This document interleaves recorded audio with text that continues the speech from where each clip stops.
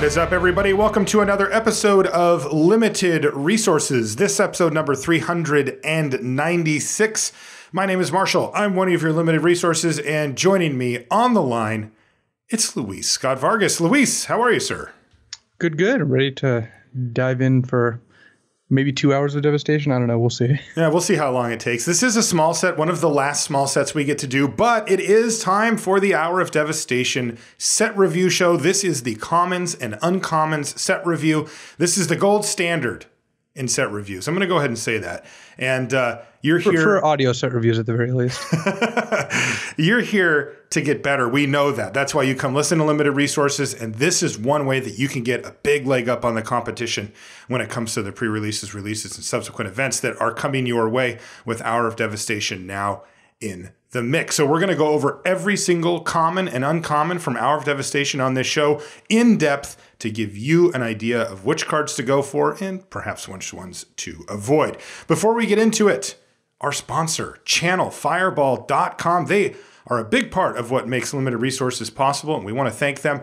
And we encourage you to go check out their website. If you need anything magic related, you are going to find it at channelfireball.com. Old cards, new cards, stuff for your cube, stuff for you know your latest standard deck. It's all going to be there. If you need sealed products so that you can draft with your friends, if you want to pre-order and get Hour of Devastation the moment they're able to ship it to you, you can do that all at Channel Fireball. They'll send it in the mail, and you'll have it before anybody else. Get your friends over to your house, do a booster draft. And you'll be on your way. You also will find some of the best content about Magic in the world. You know, look, you come here to get better at Magic. We know that. That's what we're here for, is to help you do that. And you know what? You can do that on Channel Fireball as well. Some of the best players and content makers on the planet for our game work for Channel Fireball, and you can find their stuff each and every day absolutely free right on that front page. Please visit channelfireball.com. Also, thank you so much to all of our patrons. This is, of course, a way that you can support the show directly. Patreon.com slash limited resources. It's super easy to get set up. You can stop anytime you want. You set the limits, you set the amounts. It's all up to you. And it's just a way to give back to the content creators that help make your life a little better, add a little little joy to your life. And uh, if our podcast is one of those things, that's the place to go. Patreon.com slash limited resources. Thank you so much to everybody who supports us there as well. We really, really appreciate it. Okay, it's time to get down to business here. The first things first, though, uh, we are going to be using a grading scale that we use here for the set reviews. And Luis, I wondered if you could uh, maybe break it down for people that hadn't heard it before. Sure thing. Uh, we're going to start with A's. So we're going to go an A through F scale. Uh, A's are the bombs. They're game winners. They're good in many situations, especially when behind. And these are the best cards in the set. These are your bomb rares and your hyper efficient spells. So cards like Glorybringer are Archfiend of Ifnir, Angel of Sanctions. I actually would have put Magma Spray in here at the end of the format as well. Um, mm-hmm. Yeah, ended up cut to ribbons comes to mind as another type of card like exactly. that. Just super efficient, you know. Uh, your Bs are cards that actively pull you towards their colors. Uh, they're headliners for a set, go-to cards, and reasons to be in a particular color, combination of colors, clan, guild, whatever. It's also where solid removal usually goes. Cards like On-Crop Crasher, Cast Out, and Angler Drake. Mm-hmm.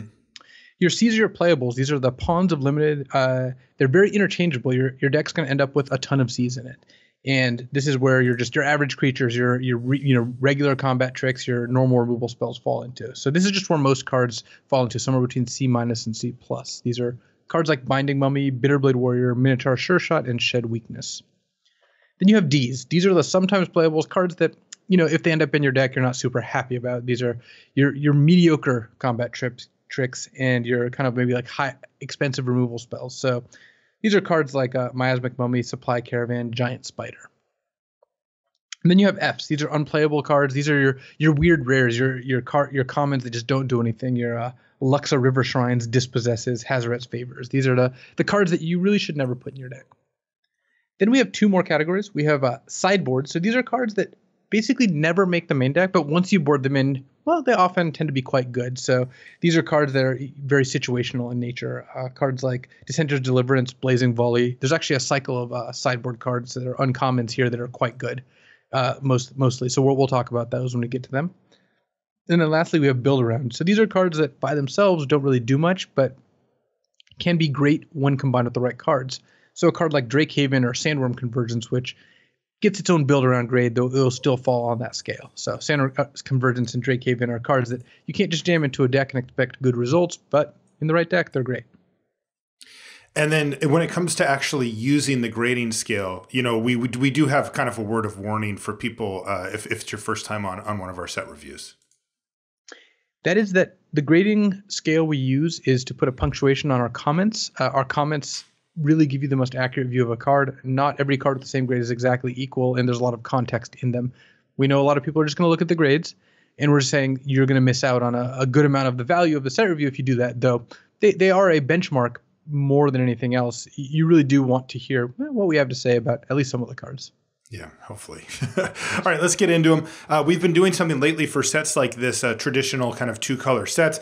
They will often have a cycle of uncommons that will so- sometimes, not always, but sometimes serve as kind of a signpost for what's to come from that color pair. And so we're going to do that this time again. We're going to start with the gold cards and see if we can't get a little bit of an idea going forward before we get into the actual colors about what it is that these color pairs are trying to do. Now, this one's set up a little differently than normal. There's five enemy color pair regular gold cards. Um, in this case, they're all creatures. And then the other five, uh, you know, friendly color pairs, they're actually aftermath cards. So it's a little different than normal, but let's let's get into it and we'll see what we can take out of it. So our first card, uh, I guess we're just going to do them all together anyway, right? So our first card is called Farm to Market and it's it, ridiculous name. which is an absurd. I would not. It sounds it, like a restaurant David Ochoa would go to. I would not believe you if you told me that this is a real card and I hadn't seen it. I'd just feel like, come on, Luis, quit messing with me. Farm is uh, two and a white for an instant. Destroy target attacking or blocking creature. Reasonable start. Yeah, farm is a, is a is a card I would put in basically every white deck. Yeah, sure.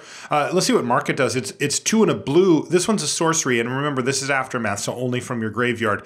Uh, draw two cards, then discard two cards. It's upside. It lets you cycle away some lands or discard maybe a card with Eternalize later in the game. But yeah. this is one of the few uh, aftermath cards where I would just play it for the front half and not really care about the the back half. Yeah, like, I agree. That, that's the key play this here. in a white deck. Yeah, you just play it in a white deck. It, it, there's another common in this set that's similar to Farm, and uh, and you're going to be playing that one too. So yeah, destroy target attacking or blocking creature for two and a white's fine. And then the times when you cast mark it, it's probably pretty powerful, but you would never go for that effect just on its own. Yeah, I think Farm to Market gets a B. I'll just put it in my white decks and be happy with it. Yeah, I like B for Farm to Market also. Next card is called Consign to Oblivion. It's one in a blue for an instant. Return target non-land permanent to its owner's hand. I, I, generally like these type of effects, and I and I find that they've gone up a bit in value uh, over the past few years as we've seen. Uh, the common removal spells tend to be slower; they cost four or five mana. Uh, and sometimes they're not instant speed. This is a way that you can actually interact with an opposing creature for cheap, but it's not a high value card. This is, consign isn't the type of card that you need to go out of your way for. So I kind of need something on the Oblivion side to really make me excited about this. Let's see what it does. It's four and a black for a sorcery, and it says target opponent discards two cards. Yeah, that's a pretty solid aftermath effect. I like since, that. I mean, the obvious combos they have one card in their hand, you consign, bounce their creature. They have two, then you untap and oblivion them.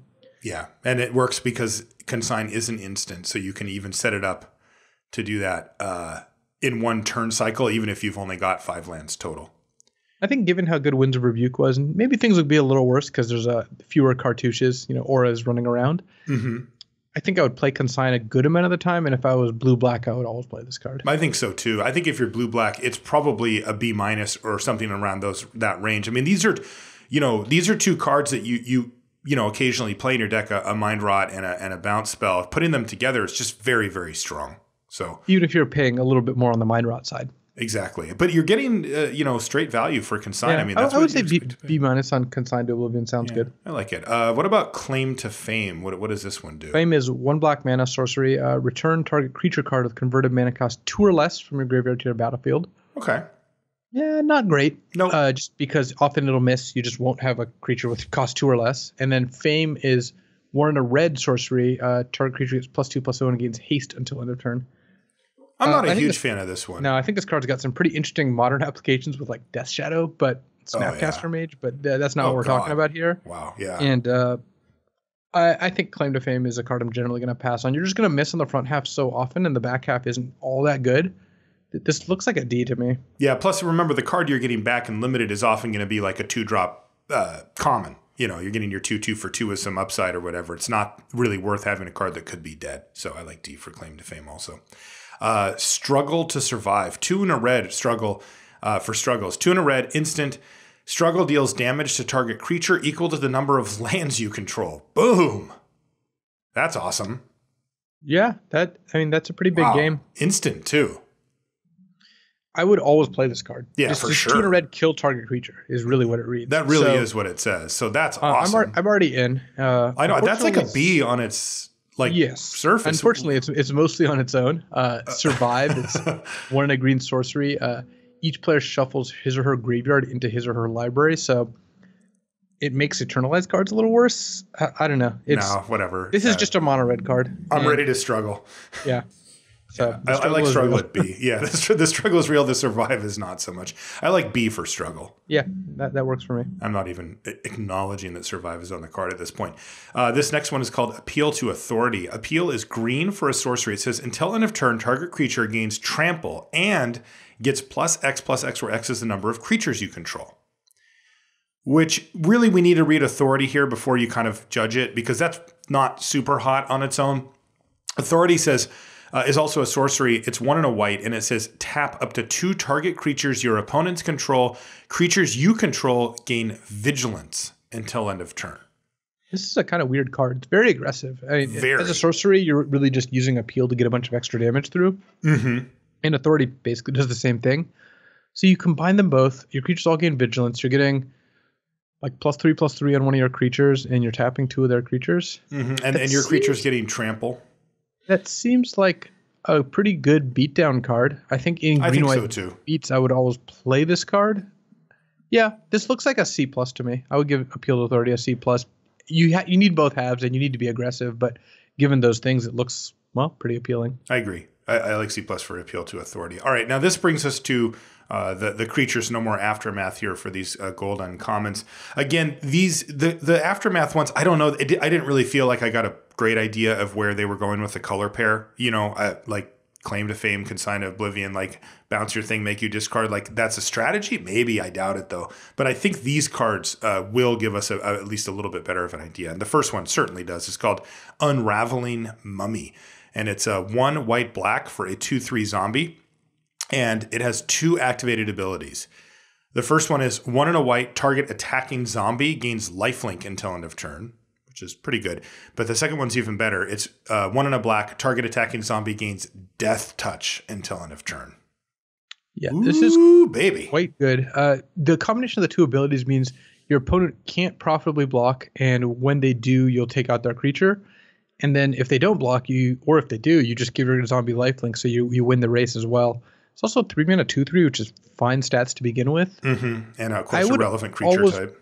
Play this card by itself, and then it's great in a mummy deck, which I think that lands on the pretty high high end of the scale for me. I like a B plus on Unraveling Mummy. I do too. I think I think this is the type of card that's going to absolutely dominate in the right deck, and it does. Remember to say attacking zombie. It, it's not another attacking zombie, so it can even uh, target itself. And you know, Luis, you and I like to talk about threat of activation on the show, where you get benefits from the Well, you- you abilities more on your card. yeah. It's true, uh, but uh, you should talk about it more. Um, but yeah, it, the, the, you get the abilities on the card just as a threat. You don't even have to activate them a lot of times, and you're going to get a lot of that from from Unraveling Mummy. Really good card. Uh, Bloodwater Entity is one blue red for a 2 2 flying elemental. These are all uncommon, by the way. It's got prowess. So 2 2 flying prowess, interesting. And then it says uh, when Bloodwater Entity. Bloodwater entity enters the battlefield, you may put target instant or sorcery card from your graveyard on top of your library. It's, it's not card Hmm, advantage, but it's making it so your next draw is something good. I mean, it's you may, so you don't have to. But if you've used a removal spell early, then this lets you rebuy it for later. And and the question is just simply if I have a card in my graveyard that I could target, you say, well, would I be happy if I drew that next turn? Then yeah, then put it on top, and if not, then then then don't.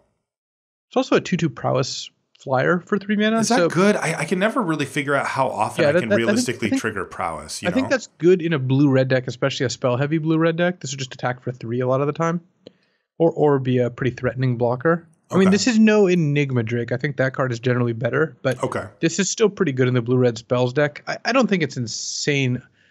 My guess is this lands. I, I would give Bloodwater Entity a C plus. I think. I think so too. Like prowess, I think is usually a little overrated and limited. It's actually not that often that you can trigger it like multiple times in a turn or, or multiple times throughout the game. You know, usually you'll have somewhere around seven or eight spells total in your deck that trigger it. So it's not, you know, the type of thing where it's just always a three three flyer. But uh, this has just enough going on, I think. And also, you know, you could do worse than a two two flyer for for three mana. Like that is not, you know, prohibitively bad. It's just merely kind of bad.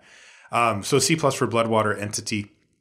Boy, this next card's a real doozy. Uh, Obelisk Spider is one green black for a 1 4 with reach. And it says whenever the spider deals combat damage to a creature, put a minus one, minus one counter on that creature. And of note here, it, it it's doing both. Like it takes Yes. one and it gets the counter, unlike uh, some So previous this kills mechanics. two toughness creatures. Right. And then it also has another ability. Whenever you put one or more minus one, minus one counters on a creature, and I have to note here that doesn't mean from the spider. It just means whenever you do that. In general, Yeah, and it can be your creatures or theirs. Each opponent loses a life and you gain a life. yeah, this card is fantastic. Whew. It's really annoying to attack into. At the very least, it's draining them for one and putting a counter on their creature. It, it even could have just attack your opponent. They can't really do a whole lot about it. And it combines really well with just like the other random minus one, minus one counters that are floating around. So you don't need anything to put this card in your deck besides the ability to cast it. I think I'm But once you're building around it, uh, it becomes awesome. I would give Obelisk Spider a B plus. I think so too. The the thing is that like every little corner case where you're like, oh, but does you're like, yes. The only thing it doesn't do that you'd want is to drain them for how many counters you put on, and it just says whenever you put one or more, so it's just for each instance, but still whatever. Obelisk Spider is awesome. Man, that's a lot of power on a three drop. Uh, next is, is is another pretty powerful card. It's called Resolute Survivors. It's one red white for a three three human warrior. And it says you may exert it as it attacks. Does that sound familiar? Whenever you exert a creature, Resolute Survivors deals one damage to each opponent and you gain a life. So you're draining your opponent for one, similar to what we just saw on the spider there. Uh, whenever you exert anything uh, Th- on It's your weird side, text on a red white card. Oh, isn't that weird? Drain them from like. How is black not involved in this transaction Yeah, on I, level? I don't know, but what I do know is all the cards that say when you exert a creature ended up being really powerful because you'd often play them, get a trigger that turn from your other exert creature, and then Mm-hmm. threaten to get one or two triggers on your next turn. hmm So You like, know, it is funny. is awesome. you know, putting this right next to the spider, it is interesting, Luis, because it does actually say it deals one damage to each opponent and you gain one life, as opposed to the spider, which is life loss. So this really is just the red is the damage and the white is the life gain. Uh, it's you know a mini lightning helix or whatever. I, I, I guess still, Lightning Helix still, but Yeah. the combination makes me think of black cards. It does me. It does for me too. Uh, how good is this card? I mean, it's a three-three for three in a presumably beat-down color pair that once again is looks like it's telling us, "Hey, let's exert, let's attack, let's get in there," and it's helping us race and get my opponent dead. And it works for you know you could have a turn where you exerted three creatures at once and then they're drained for three. I mean, that's just going to add up a lot on a That's on a quite body that's It's- great. It's also yeah. a three mana three three. yeah, it's really Just good. it's three mana three three with just very high upside. I think this is a B plus also, but honestly, looking back, I wouldn't even be surprised if Resolute Survivors and Obelisk Spider both like edged into the A minus territory. But I'm going to give Resolute Survivors a B plus. I like B plus as well. I mean, it's, we are just talking about hyper efficient cards here. They could they could edge their way up uh, all the way to the top. It's really going to depend on if their archetypes end up being good. That that's the question. So we'll keep an eye on that. Yeah, that, Uh, that that's what'll get them to A minus. But you could Mhm. say that you could l- take a look at these cards, say that you never get to put them in a deck with other minus one minus one counters or exert cards, and they'd still be a B plus. Yeah, I know. So, insane is That's a good place to be. Yeah. All right. Best for last. Yep. River Hoopo Hoopoe. Hoopoe. Yeah. That's how it's pronounced. I'm not kidding. I looked it up. it's a real bird too. the arbiter of the pronunciation guide. Sure, River Hoopoe. I looked it up, man. It's blue green, so two mana, one blue mana, one green mana Oh, for a yeah. one three bird with flying. oh All right. yeah. Two mana, one three flyer. Dece. I'm in. Here's here here's the payoff, the the the meat, if you will. Three blue green, you gain two life and draw a card. So it's activated ability. Pay five mana, gain two life. I'm in love. you know, every card here except Bloodwater Entity is fantastic, and uh, River Hoopoe is is really no exception. It's a two mana one three flyer, which is decent stats. Like you'll play that card a lot of mm-hmm. the time. Yep. And five mana to gain two and draw a card. The, the two life actually pretty important because it keeps you from falling behind while you're drawing cards. Yeah. Ooh, I I love I think this it. card's not not an A either. I mean, No, this, is, it- still, this is still a B plus, but I would be really happy to first pick a gold uncommon here. I would too. And I just this is a f- easy front runner for my favorite card in the set early here, the, the River Hoop. There's not some stupid bounce cards later, I'm sure. Look, this one could beat one of those. Let's just put it that way. I, I, I Right. love this type of card. So Card is great. yeah, B plus for the River Hoopoe. Okay, uh, I think we're on red. Is that right? We are. Okay, so we're gonna uh, jump over to red as we work our way through the colors here uh, more normally, and we're gonna go through the commons and commons together like we've been doing. So our first card, it, card is a doozy. It's called Abrade. It's uh, one in a red for an instant at uncommon, and it's modal. You get to choose one. Uh, Abrade deals three damage to target creature. That's right. One in a red instant deals three damage to target creature. So I really don't need to read anything else uh, to make this card great, but it does have another mode, which is destroy target artifact. So you really didn't read much more because Yeah, that's like Destroy Target Artifact doesn't really come up in this format. right. I, I do have one question though. Is Destroy Target Artifact in Red's color pie? Yeah. Okay, and so is dealing three damage. So this doesn't doesn't break the color pie. No, Okay, I just want to. it's fine. What do you mean? so it's like it's like killing flyers, which is also like fine. Whatever. is Abrade is completely within pie, and it's awesome. All right, Abrade a braid is a B plus. Yeah. I, I think it's just not. You know, when I say magma spray is an A, that's just because that par- particular format ended up being insanely slanted towards the one and two drops. Uh, there are some formats where Abrade could sneak up to A minus just because it's that efficient, but I, I would start Abrade at B plus. I would too. And- And, and it's just a pure artifact. Why not? Yeah, and and if, if yeah, if they have an artifact creature or something that that we don't know about, then sure. But whatever. This is just hyper efficient removal. When we were talking on the grading scale about what what makes it into the B range, that's one of the types of cards that can do it, and and Abrade is that. Uh, next is is much less efficient though the same cost. It's called Blur of Blades, and it's uh, one in a red for an instant. This one's common. So this one says put a minus one minus one uh, counter on target creature, and Blur of Blades deals two damage to that creature's controller. This is fine. You don't want too many one tough one toughness punishing effects because you just play against someone with all two twos. But this does kill a one toughness creature and pings your opponent for two. Also has some random little synergies here and there. Yeah, it also can shrink down a. Uh, you yeah, know, if there are three three combat. blocks, you're three three. You get to win the combat. I, I'm not imp- that impressed with this. I think I would give Blur of Blades a C minus. Uh, yeah, that seems right for Blur of Blade. Also, I want to take a note here as we work our way through, Luis. This is this card has incidental damage on it. Okay. Yes, you there's a lot of, get like- two. There's a lot. Yeah. A lot and, of pings kind of running around here. Yeah, and I think that's going to help sort of shape some of the things that we need to consider in the early parts of the format. So I just want to just keep a little tally going on cards that do that. Uh, let's move on to Burning Fist Minotaur, which is an uncommon. It's one in a red. This is a good card too. Uh, it's one in a red for a 2 1 Minotaur wizard with first strike. So a 2 1 uh, first striker for two is already pretty decent, but it's got again the threat of activation stuff's really coming up a lot. You can pay one in a red and discard a card to give it plus two plus zero until end of turn. And of course, you know the the, the obvious scenario is you've got your two four blocker or your three three blocker, and they go attack you with Burning Fist Minotaur, and you're like crap. Like if I block and they pay one in a red and discard a card, I just lose my creature outright. And if I don't, I'm taking at least two, but I might take more if they decide that they, you know, don't need the cards in hand or if that's you know within their game plan. Those are really powerful options for for uh, the the player who controls the Burning Fist Minotaur. Yeah, I, I, I think that the combination of being an efficient body to begin with, you'd always play one in a red, two on first strike, and having a powerful activated ability makes Burning Fist Minotaur a pretty solid B. I think it's just a rock solid B. Also, I yeah, I think that card's really good. Um, Chandra's defeat. Now, I want you to read this one, and you, you mentioned uh, Yeah, the cycle part of, a cards cycle. here. Uh, there's yeah, five defeats, one for each uh, Planeswalker. It's one red mana, so one mana instant at, at uncommon. Chandra's defeat deals five damage to target red creature or red Planeswalker. If that permanent is a Chandra Planeswalker, you may discard a card. If you do, draw a card. You can ignore all that text. Uh, that doesn't really matter. Basically what matters this is one red mana to deal five damage to a red creature at instant speed. So Yeah.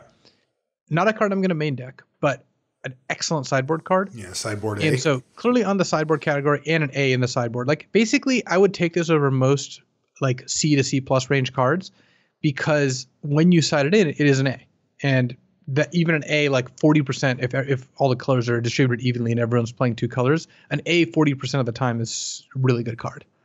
So but you would not main deck this, right? I would not main deck it. The only time I would main deck one of these is if like it turns out that in sealed, like sixty percent of people play a certain color, Mhm. then then you might be able to. But And maybe if you had a discard outlet of some sort or something Exactly, to, to turn it into a card. otherwise, uh, yeah, I'm happy picking up the defeats uh, for the most part. We'll we'll get to each one individually. Yeah. But I, I like Chandra's defeat at sideboard A. Same. That's just too powerful. One mana. Come on. Uh, crash. Of one mana, yeah. Yeah, crash through. Mhm. What does this one? Red for a sorcery. Mhm. Creatures you control gain trample until end of turn. Draw a card at common. Huh, this is just filler.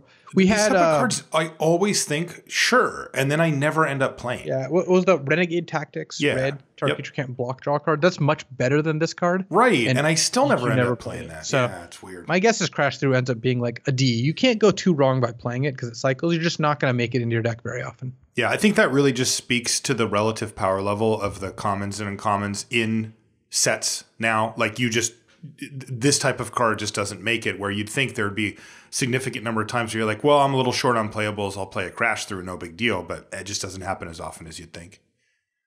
Defiant Khenra is a pretty easy one. That's our next card. It's one in a red for a 2 2. It's a Jackal Warrior.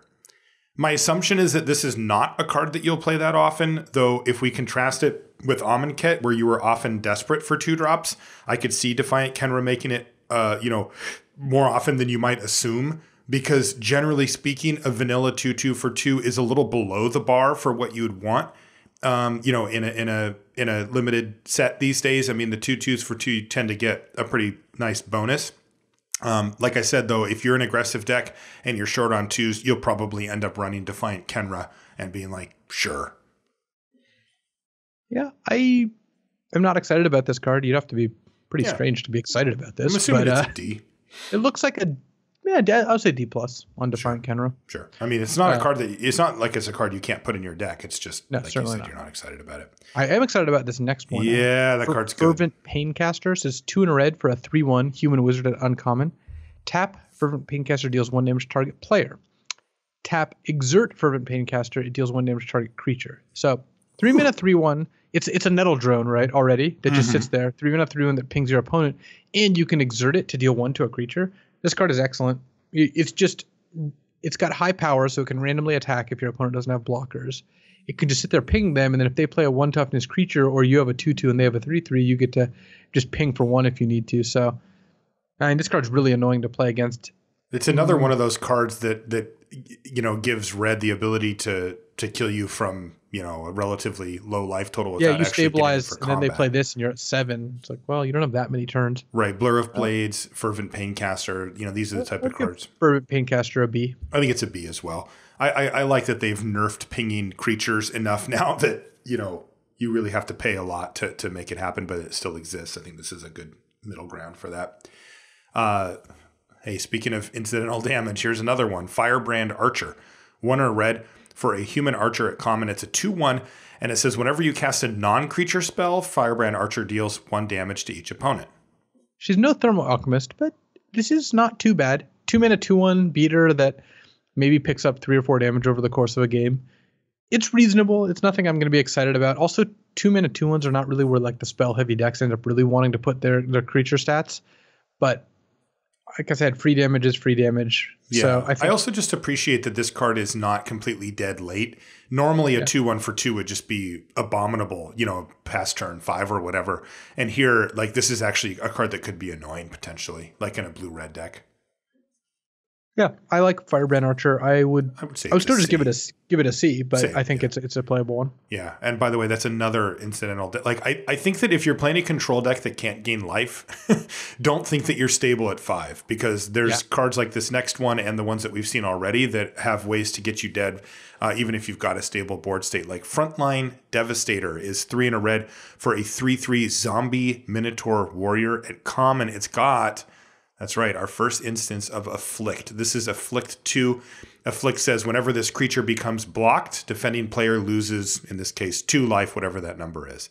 Uh, and then also, this one uh, has an incentive built in to, to disincentivize your opponent from blocking uh, or from letting them through, which is one in a red, it gets plus one plus zero until end of turn.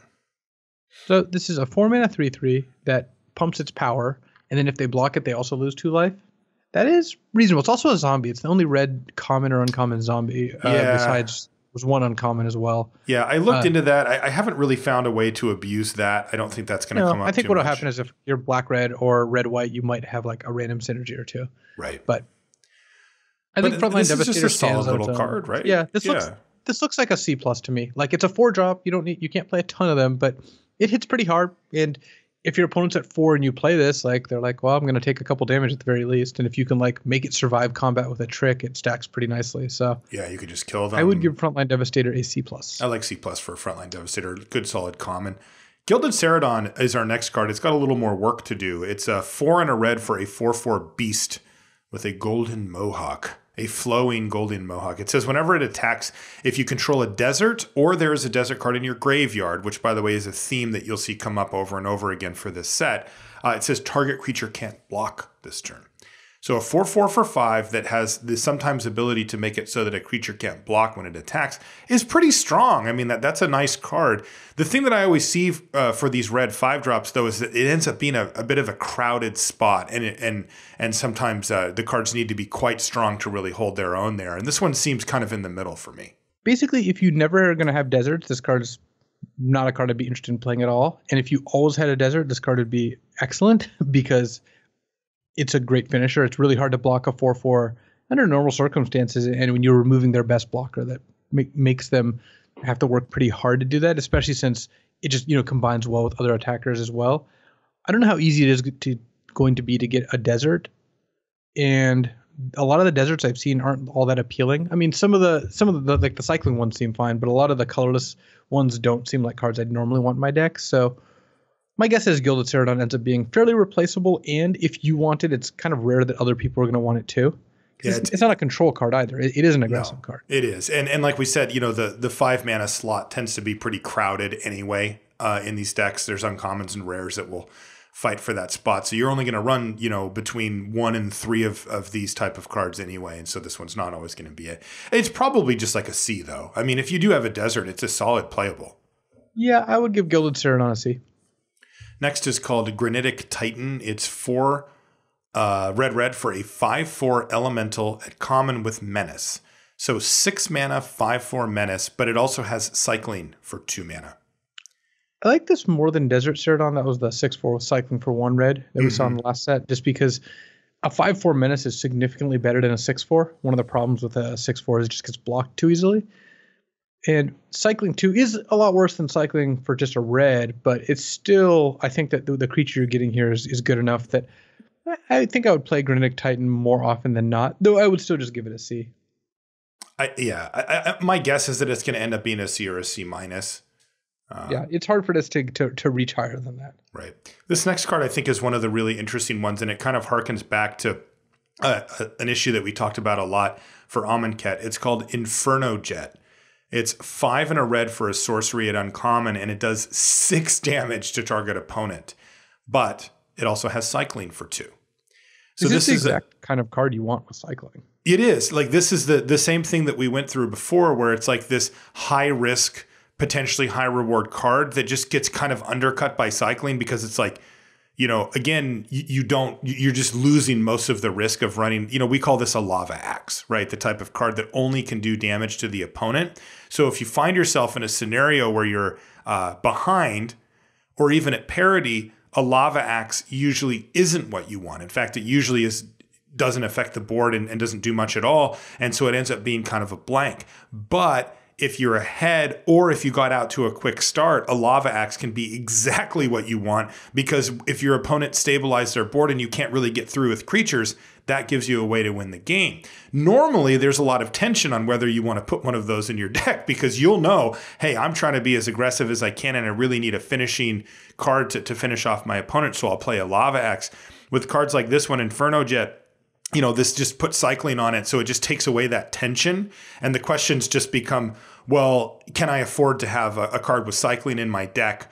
Uh, you know, that, that some percentage of the time I'm going to need to cycle. And, and the answer is probably. And for an effect this strong, I think the answer is just yes. Like, if you're an aggressive deck, this is so much damage, right? Like, this is flood protection on two different levels, and six is a lot of damage to do to your opponent. I, I'm actually pretty happy this card's uncommon. I thought it was common at first because this is going to end a lot of games. Oh yeah, it's it is a lava axe that you get to put in any aggressive or I think mid range deck, just because you can steal games out of nowhere.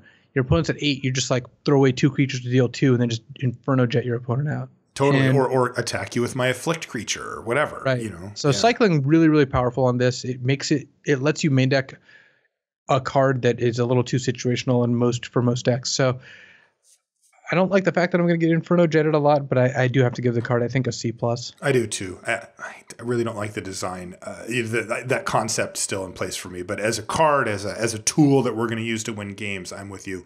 C plus for Inferno Jet. Next is uh, Khenra Scrapper. A really solid little common here. I think it's a it's two in a red for a Jackal Warrior. That's a two three. So a two three for three mana, and it has menace. It just always has menace, which is pretty good. Uh, you know, you'd prefer maybe the power to be three or something, and the toughness to be two. But hey, it's a menace card, and it's got exert. If you exert it when it attacks, you can give it plus two, plus O until end of turn. So it can smash for four with menace, or it can just ch- keep chipping in for two with menace, uh, you know, until you kind of need to uh, exert it.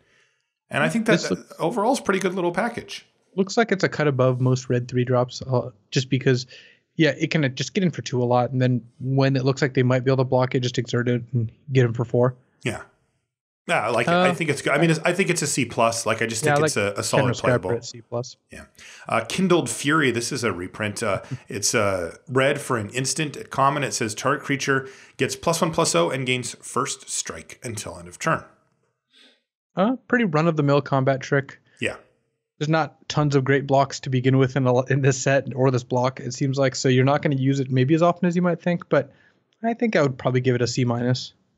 I think so too. I, these cards are just whatever. Uh, I do like the fact that it's only one mana, and if the format proves to be as quick as it was with Amonkhet, then having one mana spells that not only affect uh, the game but affect combat specifically can be quite good. Uh, next one is an uncommon called Magmaroth. It's a three and a red for a 5 5 elemental. So obviously that crushes the vanilla test. You don't normally get five fives for four mana. Usually you get a three three. It says at the beginning of your upkeep, you put a minus one minus one counter on it. So it blocks as a five five, and then on your turn it's effectively a four four. And it says whenever you cast a non creature spell, you remove a counter, a minus one minus one counter from it. What a weird card. Yeah, it's a kind of blue red spells matter type of card.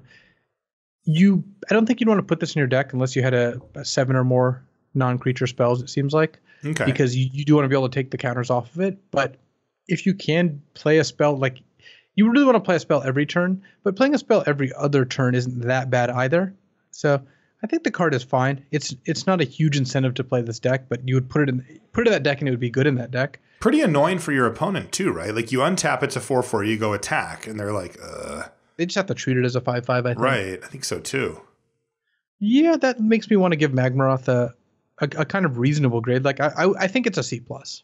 I think so too, and it might be a B minus, and I'm sure in certain decks it'll end up being a B. You know, like that. If you yeah, can just, just keep the counters just off. a four mana five. five. Yeah, it's pretty insane, right? Uh, what does Manticore Eternal do? This is three red red for a five four zombie Manticore at uncommon. Mm. It has afflict three and three. attacks each combat if able. So five mana five four, but if they block it, they lose three life. I think and you just want to attack with it anyway, right? I mean, yeah, a five four. The the attack each turn if able. Uh, text is not a huge drawback on a five four because those can get in fairly well. They're not chump attacking very often. Yeah. Well, the fact that it punishes them when they block and well punishes them if they don't block this makes this a pretty solid package. This is a five drop I'd be happy to put in my deck. I, I would give Manticore Eternal a C plus. Yeah, I think it might end up being a B minus. I think the uh, average use case for Manticore Eternal is you play it, your opponent leaves back some number of blockers. You send it in because you have to. They block. They trade off a, a, reasonable, a three or four mana creature for it, or two small creatures for it. And they take three in the process, and you're pretty happy with that transaction. So. Yeah, that sounds that sounds like a C plus or B minus. yeah, I mean, obviously the downside does pop up if you're behind in the game, but you can block for yeah, a turn. If your life total is too low, then this this actually does matter. But for right. the most part, you're happy attacking. Yeah.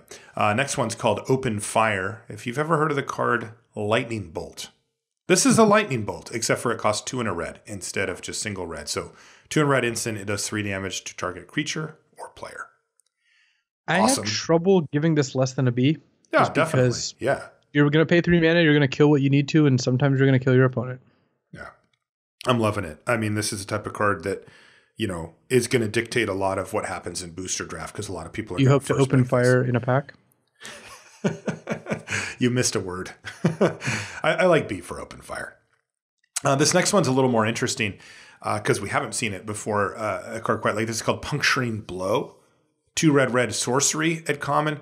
It deals five damage to target creature, and if it would die this turn, exile it instead. So it's like a huge magma spray. Yeah, four mana for five damage at sorcery speed, I think is fine. It's fine, and, right? And like it's not exiling exciting. stops eternalized shenanigans. So this isn't something I'm getting excited about, but honestly, this is one of the better red comments. Not as good as Open Fire, but might be second after that. Yeah. So, uh, I think I would give it a C plus. Yeah, I think so too. Puncturing blow is a type of removal that we've come accustomed to. You know, yeah. slower, more expensive removal. Uh, this next card's a beating. It's called Sand Strangler. It's three in a red for a 3 3 beast at uncommon. When it enters a battlefield, if you control a desert or there's one in your graveyard, you may have Sand Strangler deal three damage to target creature. Oof. It's a beating. This card's great. Uh, it is uh, the first card I've seen which gives you like heavy incentive to to search for deserts.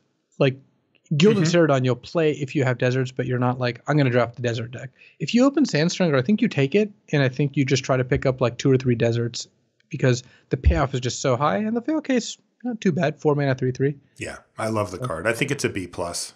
Yeah, I'd give Sand Strangler a B plus. Yeah. Uh, a couple more red cards here. Uh, Thorned Moloch is the first one. It's a two and a red for a two-two lizard with prowess, and uh, it has first strike as long as it's attacking. Yeah, this is an interesting one. Yeah, I don't know what deck really wants Thorn Moloch. I guess Just blue blue red is what comes to but mind. Blue red is a wants creatures. It's wants its threats to be able to block as well. It's not usually like super aggressive, and this is fairly aggressive of a card. Quite aggressive, yeah. It's only getting yeah. the first strike. Otherwise, you're looking at a two two for three. But that's yeah. sometimes it's bigger if you have instant speed effects it's, or cards. It's it's that's pretty bad. Like you, you would be yeah. really sad with a, a, two mana three three. You know, just in general. So I, am going to give Thorn Moloch a, I think a C minus. Yeah, I think so too. It might even be a D plus depending. Red looks aggro, man. Yeah, a lot of a lot of removal spells, uh, a lot of damaging, yeah. Yeah. a lot of just pinging the opponent. A lot of uh, encouraged attacks as well. You know. Oh yeah. And sometimes even forced in the case of Manticore Eternal. Okay, uh, green. First card up, maybe the best card, uh, the best common for green. It's I called. would assume so. Yeah, it's called Ambuscade. It's uh, two and a green for an instant. Like I said, it's a common, and it's uh, it says target creature you control gets plus one plus zero until end of turn. It deals damage equal to its power to target creature and opponent controls. Uh, as you know, you will hear us say every time these cards come up, it's not a fight; it's just your creature punching theirs. Yep. And so three mana instant speed and an additional point of power on top of things. Yeah, this just looks like a B. Me too. I, I instant speed is just so good for this, and the tempo that you get even off of the plus one plus zero uh, it's a huge difference uh, to be able to punch something up a little bit from where that creature's at and then be able to attack with no damage on it whatsoever. Uh, it's a type of card that you'll often main phase, even though you can do it at instant speed if you need to. I think Ambuscade's a B. Uh, next is called Beneath the Sands. It's two and a green for a sorcery. Search your library for a basic land card, put it onto the battlefield tapped, then shuffle your library. Uh, and then it's also got cycling for two mana. I'm not that impressed with this card. Like, yeah. I get that you can cast it if it's good or cycle it, but it's kind of slow to cast. Three mana ramp is just not what I'm in for. Right. It's and the same cyc- thing that we just said about the Avid yeah. Reclaimer. Yeah. And cycling two is just okay, a little slow. I, I I think that a three color ramp deck will want Beneath the Sands, but it's just fairly unimpressive outside of that. I can't really imagine playing this in a two color deck. I agree. So, yeah. Uh, I would give Beneath the Sands like a D plus. Yeah, I give it a D. It's just like you'll know when you want it. Now, this next card, how is this a common? Uh, it's called Bitterbow Sharpshooters. It's four and a green for a 4 4 Jackal Archer with Vigilance and Reach. This is a Sentinel Spider. Come back. Yeah, it's even easier to cast. This card's just great. Yeah, it's a good one. This is a good five drop. It, it, it does stabilize the board, lets you whack your opponent while still keeping a blocker back. I'm not going nuts over this card. I, I mean, I still think this is just a C plus. I, I don't think it's into the B territory. I'm going to give it a B minus. All right. I, I think the combination of vigilance and reach on such a big body just makes it so much more likely to be able to get in for damage while not taking damage and just being very resilient. I, I feel like this is a pushed common. Like that. That's just th- those Yeah. stats are just. I'm just really wary of good. giving fives too high of a grade because you just end up with so many fives. That's true. That is true. You are right about that. Well, I'm still going to go B minus on bitter bow. All right, I got C plus on, on the sharpshooters. Um, Devotee of Strength is two and a green for a 3 2 Naga Wizard at Uncommon, and it's got an activated ability. Four and a green. Target creature gets plus two plus two until end of turn. Ooh, that's nice.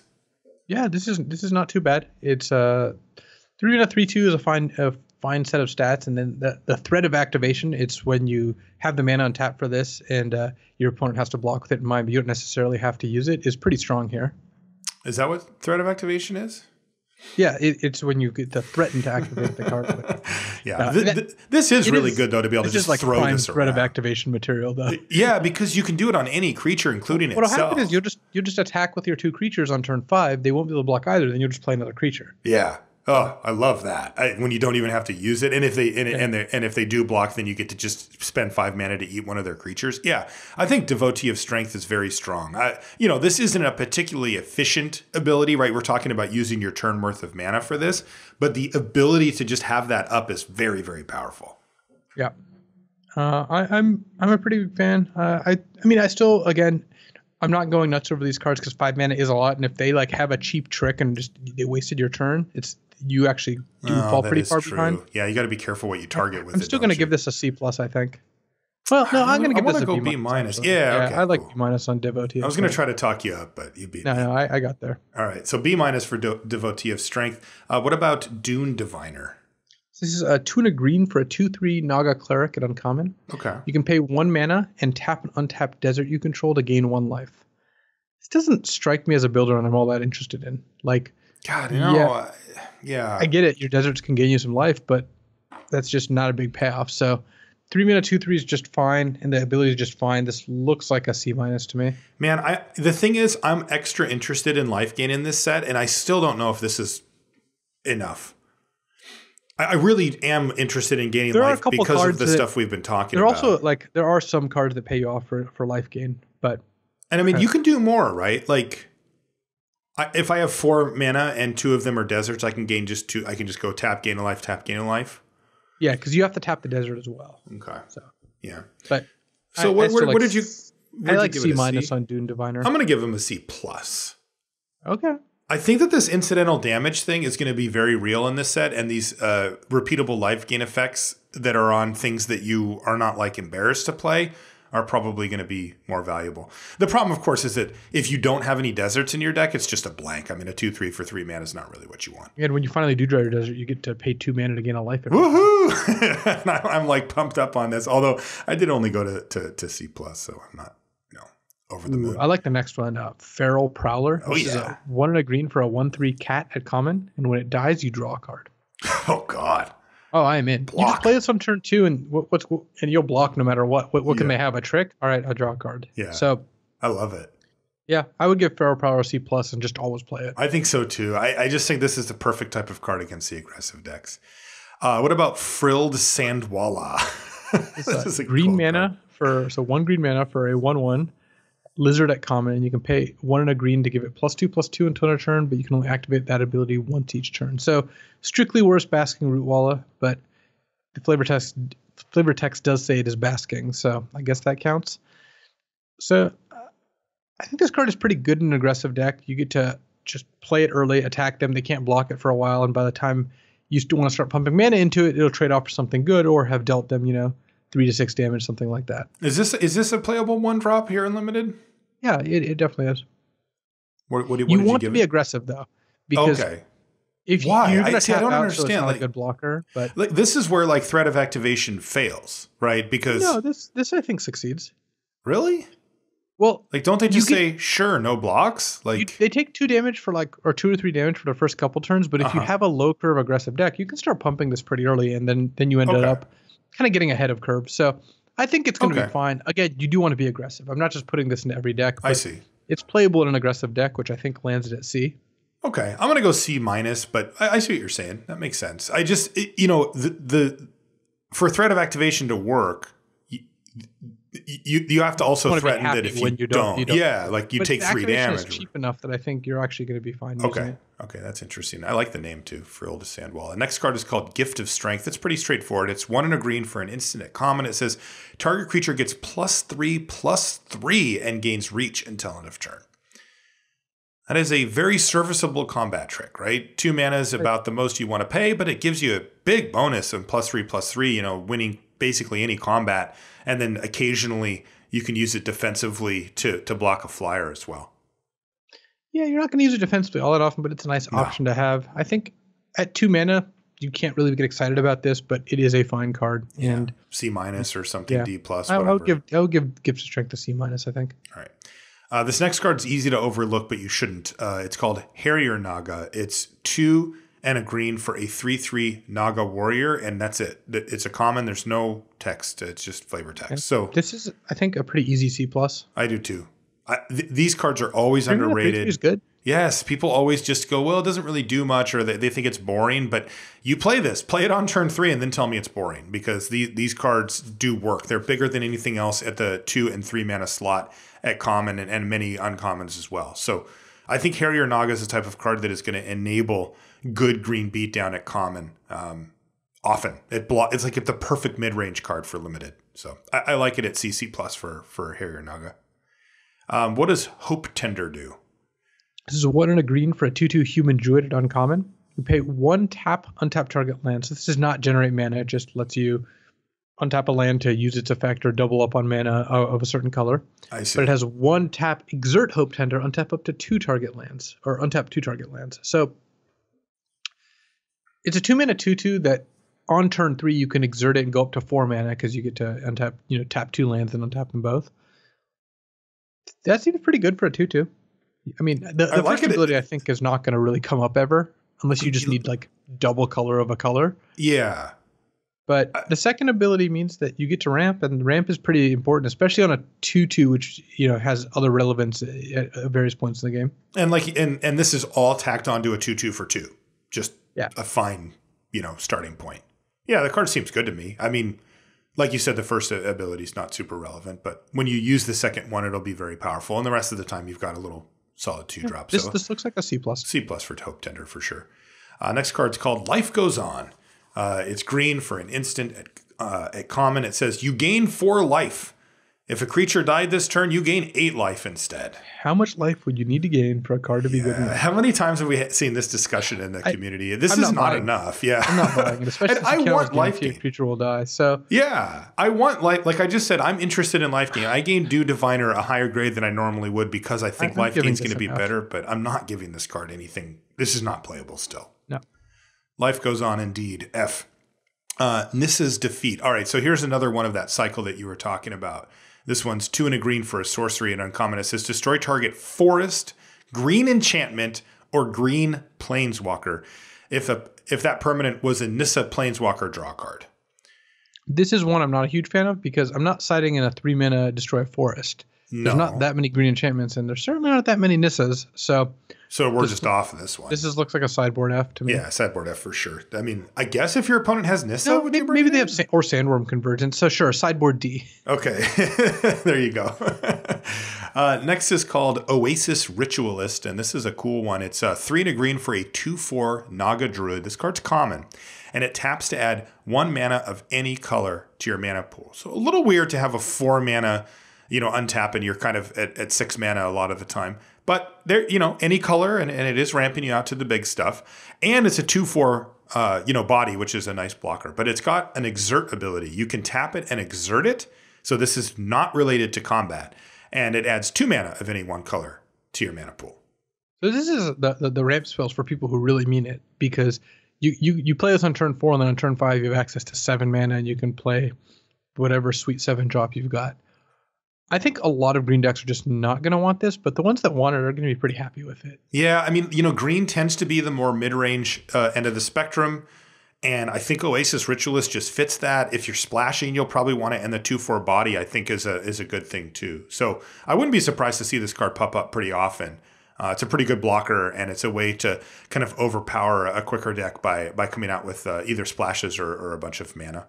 I like it. I think it's a good card. Uh, I think it's like a C plus actually. I, I I'm hopeful that it is because this is the type of card that I is, like to see good. C plus, then I'm, I'm, happy with the format. Yeah, I, am going to give it a C, but I, I, I see what you're saying. I like your optimism. Can we just skip this next card? All right. Well, I don't want to do this, man. Look, before I even knew you, I thought it was ridiculous how much you hated Overrun, and then I became comfortable enough to make fun of you, and then I, I proceeded to. Uh, but I was right. Overcome. You were right. You were you were wrong. I was right. How are you right? Overrun is just a limited card like everything else, and sometimes it wins games. You can no. decide in a fog, and it's great. No, that that is so untrue. What we're what Luis is referring to is I back in the day I would really get on my soapbox about Overrun because I felt like it just ruined games of limited. Like you'd be playing a normal, reasonable game, gameplay. and then it was just like poof, Overrun, and the game ended, and it's like, well, that's like it, there's just nothing there was no decisions at that point and and and the opponent could have just put any creatures in their deck literal just you know two I, I twos. still remember owen messaging me like who's this Marshall guy and why is he ranting about Overrun? that's funny. But you know, the story it, it actually got interesting uh, because uh, that's funny. But seriously, Overrun sucks. it, it's awful, right? Like for for limited and. Uh, but what ended I, up happening was is Aaron Forsythe, you know, at the time looked into Magic Online data as a bait as a result of some of the discussion we had, so and he was like, you know what, you guys are right th- this wins way too much. And they stopped printing it at uncommon after that. After that, it was overwhelming mm. stampede and these rares. And somehow it's back. So we've got Overcome is the card, of course, that's sparking this whole three discussion. green green sorcery yeah. uncommon. Creatures you control get plus two plus two in game trample, not plus three plus three. Right. This card is still quite good. It's great. It's going to be the same. It's like easier to cast. You're uh, gonna put it in your deck. It's going to lead to some interesting combats, some good gameplay. Whatever, and- man. It, people don't know how much you're trolling. If you've never been on the bad end of one of these cards, you're just like, oh, the game's over. And here, I'll explain it really quickly. The way it plays out is if they have three or more creatures, you lose.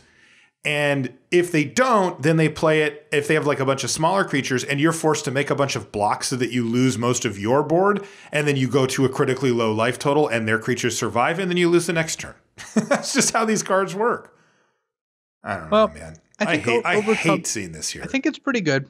Like I, I think it is going to be a very strong uncommon. I think you're going to take it a lot of times you'll see it, and I think yeah. that regardless of how you feel about the gameplay, this is a card that will win you games of limited. Totally. So, and and for uh, the purposes of the set review, I think this card is going to end up being a B or a B plus. I think it's going to be like a B plus. I think yeah. it is a good card. I, mean, I think it's a great card. Like again, all it cares about is that you have critical mass of creatures. So just make sure you don't need to be a go wide token deck to make overcome good. You just need to play, you know, some number of Harrier Nagas and two two for twos, and you're just going to win when you resolve it. So do that. In the meantime, I'll you know put my soapbox away and, and we'll talk about it some other time. But the card's great what, and you should play about, it. Uh, Quarry Beetle. Quarry Beetle. Uh, four and a green. I've never seen this card. Four and a green for a four-five insect at uncommon. When it enters the battlefield, you may return target land card from your graveyard to the battlefield. The, the first place my mind goes is deserts. You deserts, sack a desert cycle a desert. Yeah. Okay. You get to Quarry Beetle it up. Uh, secondly, is like random cards that you discard for an effect, which yeah, there are some of those, but not like an insane amount of them. Uh, I do like a very... four five for five, but again, you mentioned it earlier. The five drop slot's so contested yeah, that a vanilla four five is not good enough. Yeah, my guess is Quarry Beetle's a C, and if I you have so a couple too. ways to get a land into the graveyard, great. Yeah, it's just you're, no you're, you're never yeah you're, you're never really going off, right? Yeah. You're not like oh wow. Uh, next card is called Rampaging Hippo. Yes, I love hippos, man. These are Mouth these are great. Uh, this is four green green for a five six trample hippo at common, and a cycling of two colorless. So uh, not the greatest of all sandworms, but a still a, a, pretty big beater, six mana, five six trample, and then you can cycle it for two mana. This looks fine. I I hope it lives up to our expectations. Really, what the, this card will hinge on is mostly how burdensome it is to cycle. Do you right. have time to do that? Because the actual question. card itself is fine. Totally. And and we faced this question in Amonkhet, and the answer was quite burdensome. And if it is here too, then this will go down. But man, I tell you, I'll tell you what, if a year ago you walked up to me and said, What do you think about this card for limited? I'd be like, that is a great card. Like Right. six mana, five, six tramples already totally fine. Like that's affecting the board, you know, hard to deal with, hard to kill, good blocker, good attacker card. And when I'm missing land drops, I just cycle it. I would just would have been like, that card's fantastic.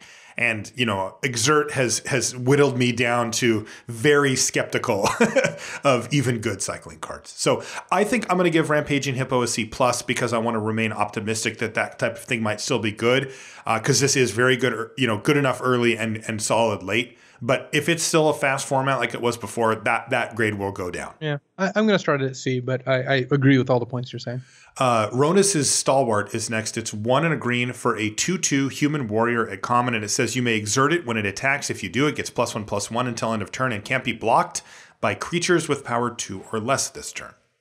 Yeah, there's a lot of cards in the set that are still really punishing to blockers, so we'll, we'll we'll see how things end up. Uh, we see where that that took us in Amonkhet. But Man, yeah, I just keep thinking of overcome. Like these are the type of cards that like chip in some damage and then boom, the game's over. Rhonas Stalwart looks great to me. It looks very solid, right? I mean, it's, it it's no a Gust Walker, 3/3. but still, this looks like a C plus. This looks like what Gust Walker should have been. Uh, I agree. Yeah. St- uh, C plus for Rhonas' stalwart. Very solid two drop at common. I, you will be playing those and facing them down. Uh, Sidewinder Naga. That artwork is great, by the way. Uh, it's two and a green for a 3 2 Naga warrior at common.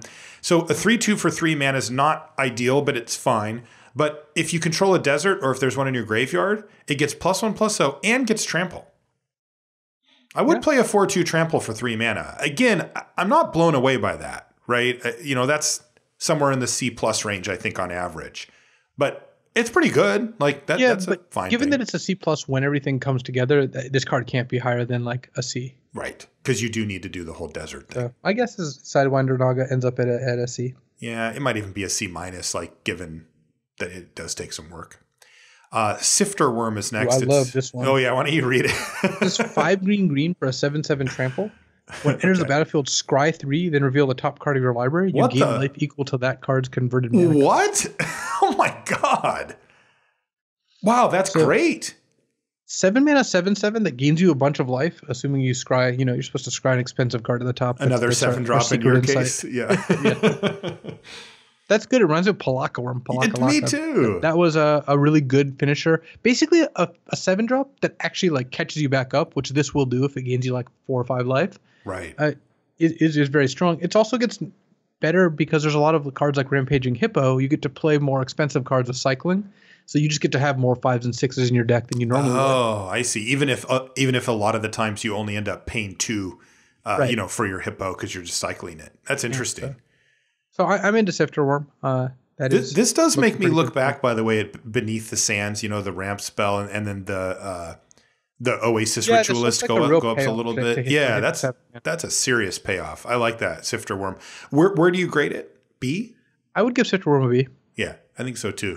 You can't just throw sevens in your deck without building around it, but this is actually worth building around. Like Yeah. if you have like two cards like Sifter Wurm in terms of payoffs, I think Ramp seems pretty real. I agree.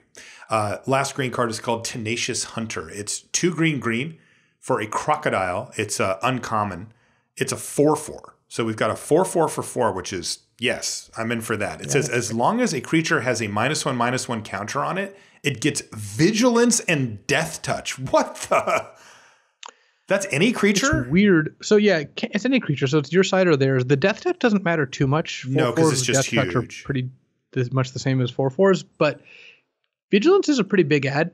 And I like the story. There's someone weak around. It becomes very well tenacious and hungry. Oh, I see. I even see it on the artwork now. yeah. Blood in the water, huh? Uh, I, I I like Tenacious Hunter. Four mana, four four, no text would I think be like a B minus, and this is yeah, this is a slightly better than that. I would give it a I would still probably give it a B minus or a B. Yeah, I think a B for Tenacious Hunter Yeah, seems, B seems good. fine. Yeah, you know, what about the deathtouch when you're attacking? So you're like, I have a vigilance creature, I attack. It makes it punishes double blocks. I think is a A big little bit, but yeah, okay, whatever. I, I give a B for Tenacious Hunter also. Man, I, I really like green in the set. Like it just seems sweet to me, but I'm I'm concerned that it's a little on the on the slow end, uh, given what we saw I mean, from red. it has a lot of ramp spells. We'll see how that ends up. All right, let's move on to white. Uh, Act of Heroism is our first white card. Pretty straightforward card as well. It's one and a white for an instant. It says untap target creature. It gets plus two plus two until end of turn and can block an additional creature this turn. This seems fine. Yeah, You- another, you- another fine combat trick, right? Yeah, you're gonna get some value off the untap and some value off the be able to block two creatures every now and then, but mostly you're just playing it for two mana for plus two plus two, which is passable. C minus, D plus. It's in that same sort of sure. I would give I would give active hero a C minus. Okay. Uh, this next one's called Angel of the God Pharaoh. It's four white white for a four four flying angel at uncommon, and it has cycling for two. So here's like this- another good cycling. You know, another good six drop that you can cycle. Wing Shepherd ended up being pretty good, and I think this is significantly better. Yeah, It, it costs more to cycle, but a 4 4 is so much better than a 3 3, even losing vigilance. So totally. I would give Angel of the God Pharaoh a B minus. I think you're going to be really happy with this card in your deck. God, I hope so, man. I, again, if the format's just blazing fast, this card is just off my radar 4 again. flyers are just like so good. Okay. I'll, I'll, I'll- I'm going to join you. I was going to say C plus because I'm pessimistic that I I still think this format is going to be fast. But again, you would have showed this card to me a year ago. I would have said, wow. So uh, B minus for Angel of the God Pharaoh. Next is Aven of Enduring Hope. This is four and a white for a 3 3 flying bird cleric at common. And when it enters a battlefield, you gain three life. Perfectly playable. Uh, Yep. I would be happy to play it in a deck, even an aggressive deck. It's just good value. Like it's really hard to to lose a race when you're just dropping cards like this. So uh, I like it at C plus. Me too. And, and and like I said, I'm really I'm I'm very pro life gain in this set. You know, I'm not willing to play the life gain only card still, of course, but like this type of effect I'm really wanting because I do feel like afflict and incidental damage sources are going to add up in a big way and, and having a way to recoup some of the early losses is going to be a big deal. And I think even Enduring Hope is, is another example of a way to combat that. Um, what does Dauntless Aven do? Is two and a white for a bird warrior at common. It's a two one flyer, and whenever it attacks, untap target creature you control. So two one flying vigilance. It can untap itself. Uh, it can also combo with exert creatures, give one of your bigger blockers vigilance, use an activated ability, what have you. I like this card. It's I do very efficient. Uh, I would give it a C plus. I do too. I think Dauntless Aven has a lot of, of potential that that you don't see right away, but then when you start doing it, you know, you think of cards from the previous set like Fan Bear and things like that, where you're like, you can just do a lot of cool things with it. Um, and then the fact that it's hitting in the air for two uh, is is you know makes it more likely to be able to attack repeatedly, where you know uh, creatures on the ground have a harder time with that. So I think Dauntless Aven is just positioned well, and I, I like it at C plus. Desert's Hold is next. What does this card do? It's two and a white. It's an enchantment aura at uncommon. uh, enchanted creature can't attack or block, and its activated abilities can't be activated. So three mana to arrest a creature. Just can't attack, can't block, can't activate its abilities. And then it also says that when Desert's Hold enters the battlefield, if you control a desert or the desert in your graveyard, you gain three life. Well, I'm sold. Yeah, I'm hold. Uh, it's a good card. You don't need the desert part. You would play this in any white deck. But if you have a desert bonus, and it's not a card I'm going to strive for to to try to combine with deserts, but you know, every now and then it'll gain you three, and that'll be great. Yeah, and, and like I said, I'm putting a little bit more of a premium on life gain like that than I normally would. So I, I think Desert's Hold is just fantastic. Uh, you know, in a really fast format, these tend to lose a little bit uh, of of their appeal, but still, I'm just going to go B plus on Desert's Hold. I just think that like a, a fairly unconditional way to take out anything on the other side of the battlefield, including utility creatures, including bombs, uh, is just is just really good. And then you know the incidental life gain is is a bonus. Yeah, I like B plus on Desert's Hold. Uh, Disposal Mummy is two and a white for a 2 3 zombie jackal at common. And it says when it enters a battlefield, exile target card from an opponent's graveyard. Yeah, this card is very mediocre. You Meh. you will snipe an eternalized card or an embalm card every now and then, but you want to be able to play your three drop on three and it won't do anything then. And then later in the game, Yeah. it's just not that high impact. So this looks like a D. It's a D. Uh, the most important thing about this card is that it's a zombie. So if Yeah, you're doing some- some zombie, zombie things, decks will work. that's it. Yep. Uh, next is Djeru's Renunciation, which is one and a white for an instant. It's un, excuse me, it's common, and it says tap up to two target creatures. Uh, instant speed tap up to two target creatures can be very powerful. You can do it on your opponent's turn before they go to combat. That taps down two potential attackers and two potential blockers, which can be a very big swing. And then in the scenarios where you're not really in a position to do that, you can cycle it for white. Yeah, this is another situational card with cycling, which tends to be a good place to put cycling. I think if I was playing an aggressive deck, I would fit this in if I could, but wouldn't be overly worried if I couldn't. And in a slower deck, I would not want to play this. Yeah, I have nothing bad to say about Djeru's Renunciation, but experience tells me that I will not play this as often as I would think. This looks like a C minus probably. I think so too. Uh, Dutiful Servants. This is sort of the natural. Uh, Version of those who serve. yeah, those who serve. It's three and a white for a zombie. It's a two five. If you want a zombie, you'll play this. If otherwise, you probably won't. The stats aren't great. Looks like They're a just classic. D to me. Yeah, this looks like a D. D for dutiful. Uh, what about Gideon's defeat? That's the This is, next one of uh, that cycle. One white mana, it's an instant and uncommon. Exile target white creature that's attacking or blocking. Feels a Gideon's Planeswalker, you gain five life. This looks like a, a, a sideboard B. Yeah, I think so too. It's good be removal against the right deck. it's Yeah. hmm A little worse than Chandra's defeat, but still one mana to kill any creature that's attacking or blocking. That's white is, is still great. Yeah, and it exiles it too, so that could pop up. Uh, you know, white does have some uh, eternalized creatures, so So sure. uh, Sideboard B for Gideon's defeat. God Pharaoh's Faithful is one white mana for a 0 4 human wizard at common. And whenever you cast a blue, black, or red spell, you gain one life. Uh, man, I told you that I wanted that I was prioritizing the life incidental life gain a little higher, but I don't think I'm doing that here. This, this, so this, I think, would be an F if we just use the normal grading scale. You just would never play this card. But I think it's actually like a sideboard C, where Really? against a against a lot of decks that attack you on the ground with two and three power creatures, With afflict, well, afflict makes this worse. Exert makes this worse. But every now and then you'll run against a, an opponent who has the right set of stats where this card can prevent a bunch of damage, and then gain you a couple life in the middle sure. game. Like if you're playing against green and they have a two-two or a three-three, this card's actually quite good. Yeah, I, I think so. Except for their two two exert creature gets by this also. So whatever. this You know- card sucks. Blocking in 2017. So yeah, yeah. Make make blocking great again. Uh, God's Pharaoh's faithful. I don't think is the is the champion to do that for us. I- I I'm going to give it a D. sideboard C. But Okay, I'm just gonna give it Uh, a D. Mummy Paramount is one and a white for a 2 2 zombie at common. Whenever another zombie enters the battlefield under your control, Mummy Paramount gets plus one plus one until end of turn. So this is a classic uh, build around. I wouldn't give it a build around grade because I think it, it is a two mana 2 2 by itself, and every white deck's going to have a couple zombies. Mhm. But this card goes from like C to C minus to like B minus in a good zombie deck. Yeah, if you're triggering it every turn once or twice, This is and it's a mana three three three- for two, yeah, So, with with, So- a, with a relevant creature type, of course. so. I think I'll overall probably give it a C, but just know there's a lot of upside here. yeah, it wants to be in an aggressive zombie deck for Mummy Paramount. That's the yeah. That's that's the, the the secret to success. Play zombies with your card that cares about zombies. Yeah, and it does work. I, I, I had a chance to play with that card already, so That you said you had a chance to, to play with zombie decks in this format already. in which case, yes. kind of. Yeah. Uh, Oketra's Avenger, uh, one in a red, uh, excuse me, one in a white for a three-one human warrior at common, and it says you may exert it when it attacks. If you do, prevent all combat damage that, that would be dealt to at this turn. Yep. I mean, I was like I said, like I said in my written survey, I was just hoping for more cards that that were impossible to block. You know, two, two, three power two drops. Yeah, how about three power two drops that can just attack giant with impunity? Like, look at that spear. That's I, I don't know if it's perspective or something. But that spear is the size of her head. Like, the it really perspective doesn't look quite right, and it just looks huge.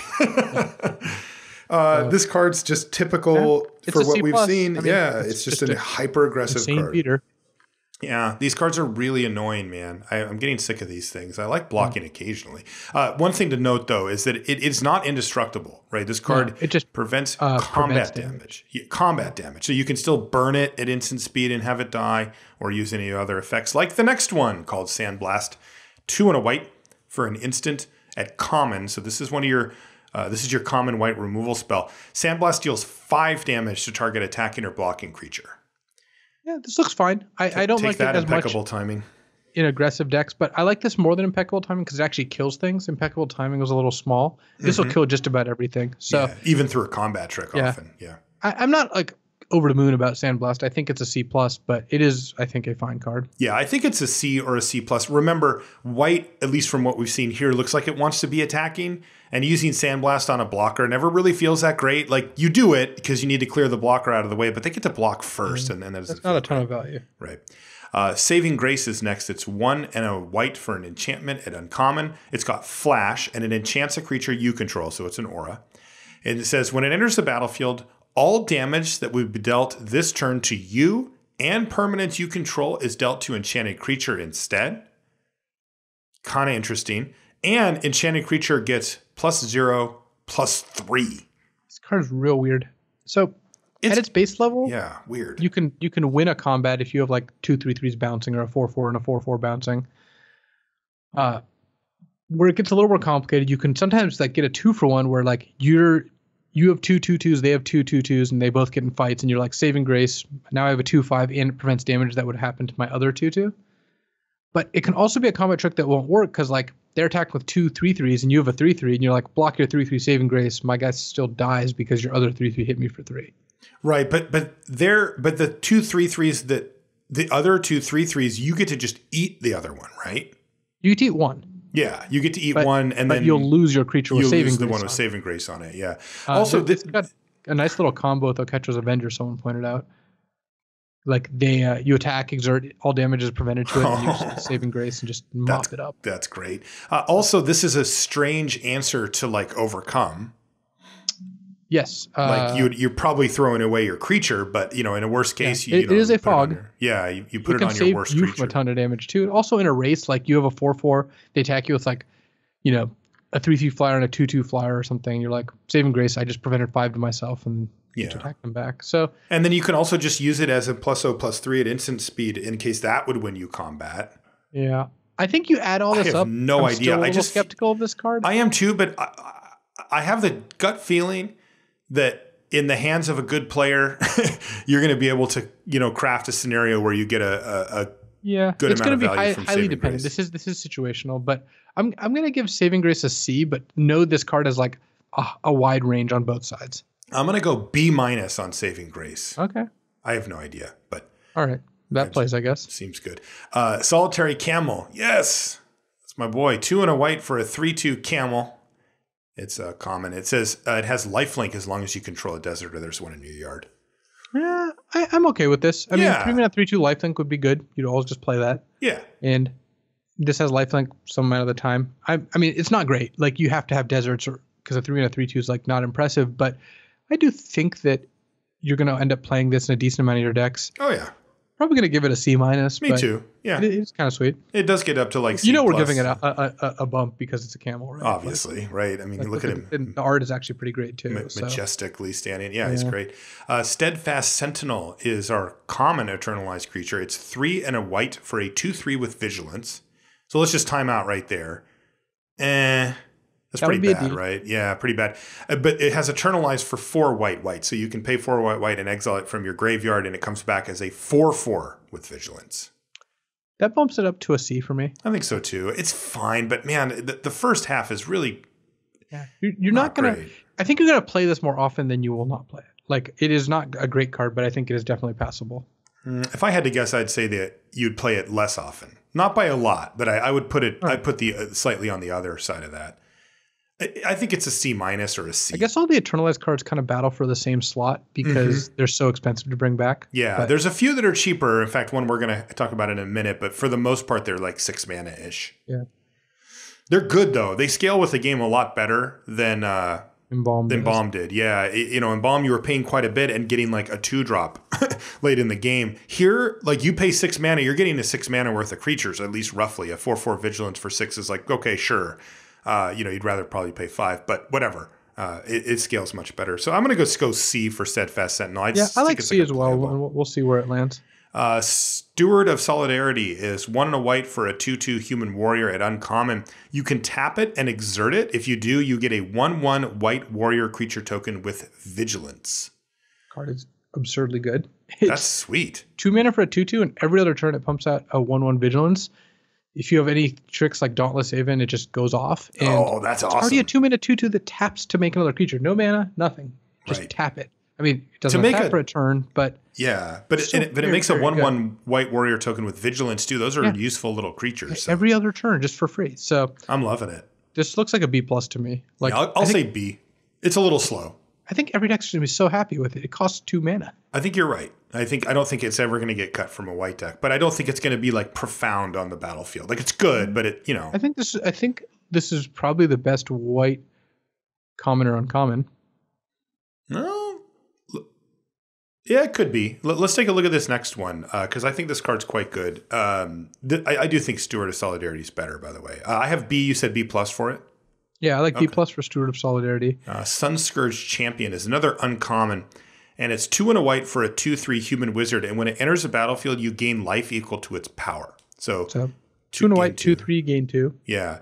But it's eternalized, and its eternalized cost, they mess with it a little bit. It's two white, white, and discard a card to eternalize it, which is really powerful.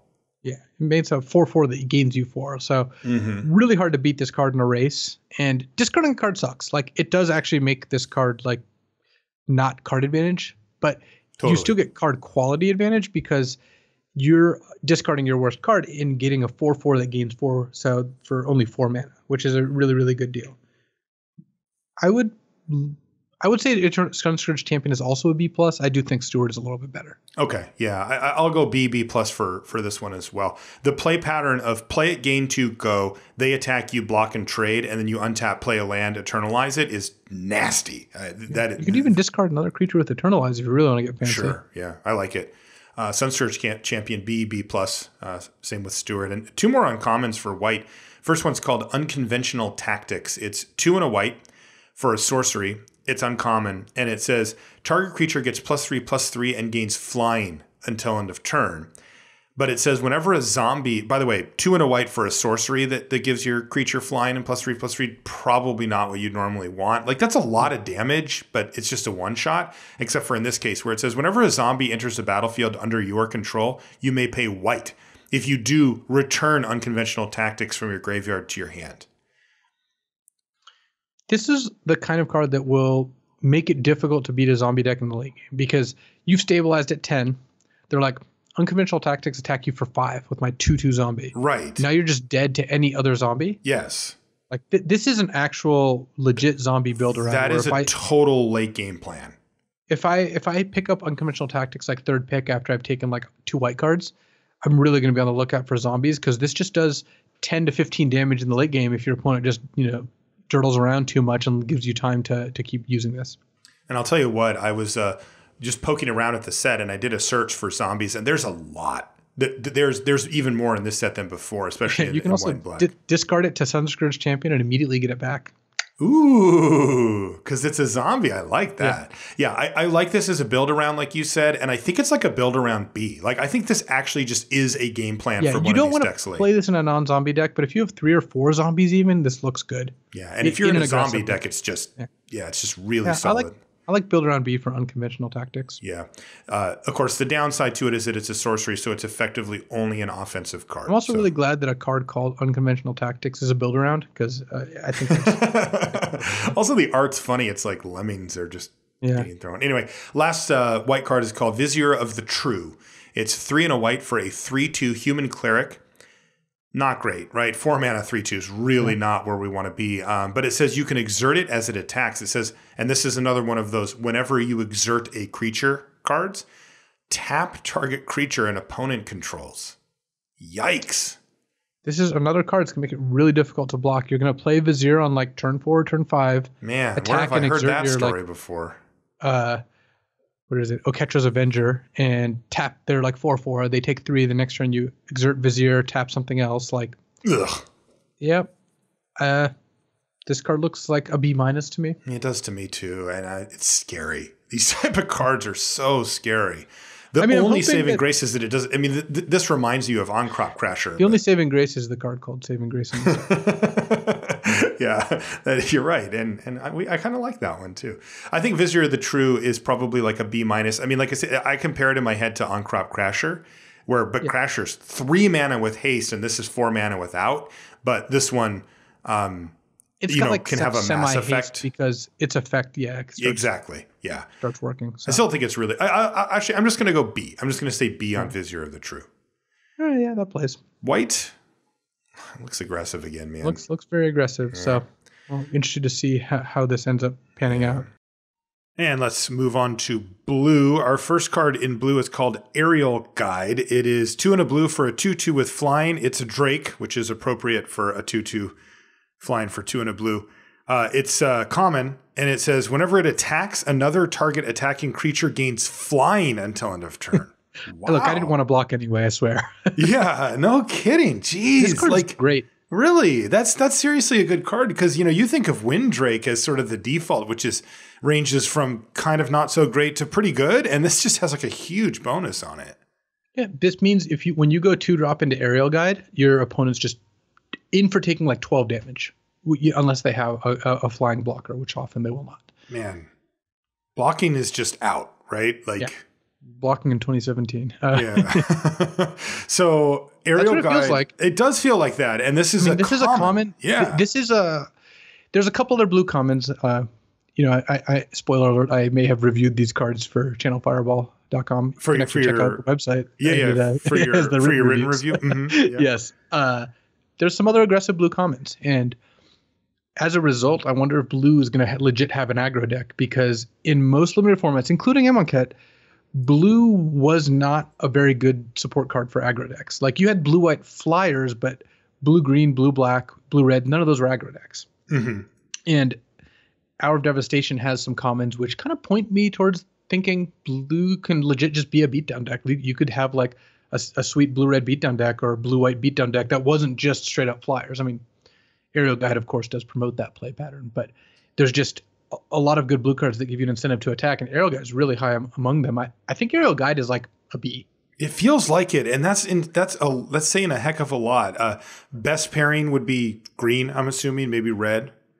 I think that in some senses, yes, green because yeah, giving your like four fours flying right makes sense. But I actually wonder if like red and white end up being better because they just have great two drops and Mm. more plentiful two drops, and you can just like I said, if you play a two drop, especially like a three power two drop into an aerial guide, your opponent's just going to be look at their hand and they're like, well, I can't kill the aerial guide, and I have a normal curve of ground creatures. I'm going to be at like five Yeah. before I get to play anything defensive. So Yeah, I, I like B minus for Aerial Guide. That, that card's just very powerful. I think B minus is on balance probably the best grade for it, but it is very close to just being. I mean, it seems like the best blue common, and it seems like a card you'll be taking early a lot of the Yeah. time.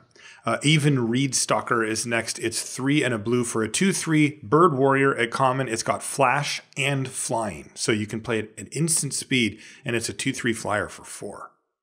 I'm not super high on the Reed Stalker. I, I Mm-hmm. think the card is fine. You, you're going to ambush some aerial guys with it. I, I- maybe that actually makes it a little better. But yeah, could be. but it's a little it's a little small for how much mana you're paying into it. And Mhm. If you leave mana up for this on turn four, playing against a you know a KG opponent, they're either going to attack if they have like a one mana trick or a two mana trick, or they're just going to pass and you're just not going to get tons of value out of it. So don't look at this as just like a straight up two for one every time. No, the way I view this is that there's a there's a ceiling on how good it can be because if it is a good card in the format, then the scenario that you just described happens way more often where people just figure it out. And if it's not that great of a card in the format, meaning that you don't see it as often, then you might be able to get somebody occasionally, but you know, even after getting getting gotten once by the Aven Reedstalker, you're gonna you- your your uh, little red light in the head in the back of your head's gonna be spinning when your opponent you know passes with four mana up. I mean, it probably gets a little better because of you know cycling and things like that, but yeah, overall not a super powerful card, but it seems fine. I mean, this to me just seems like a C. Yeah, it's just a classic C. Yeah, Aven Reedstalker gets a C. Next is called Countervailing Winds. This is two and a blue for an instant. It's common. It says counter target spell unless its controller pays one for each card in your graveyard. And it also has cycling for two. This is an interesting card. Very. The- without the cycling, this card would be horrendous. Yes. Because it does nothing on turn three, often does nothing on turn five, and be, kind of turns into a hard counter later, right? Once you have seven cards in your game. it definitely does. Yeah. hmm Cycling changes that a lot because you can just cycle it when it's bad, and you know it's never going to be dead, and it fits really nicely into the blue red spells deck, which also plays nicely with its text naturally because you have your tormenting voice type cards and Yeah. random cycling spells and whatnot. I think this is a card I'm not going to main deck in a lot of decks, but is going to be good in the spell heavy blue red decks. Yeah, I think the cycling decks and, and the one that you described are the two that won it. You know, the blue black cycling deck from Amonkhet Yeah. comes to mind as well. Hopefully that becomes a, a real thing. Yeah, it hasn't been thus far. But I mean, generally speaking, I agree with your assessment, though, that I, I don't think I want countervailing winds too often. I, I'm, I'm not building around it, but, you know, I, I would give it like a D. plus. Like, it's not a great card, but in the right deck, it, it can perform. It's a D plus, and I think that you're going to end up being able to pick it up if you want it. Yeah. Oh, definitely. I think that they'll be going around the table. And remember, uh, just you know, as a reminder, this is a small set, so we've got uh, a common here. You'll be able to pick them up out of the two packs that you get of Hour of Devastation. Next card is called Cunning Survivor. It's one in a blue for a one-three human warrior. It's common, and it says whenever you cycle or discard a card, it gets plus one plus zero until end of turn, and can't be blocked this turn.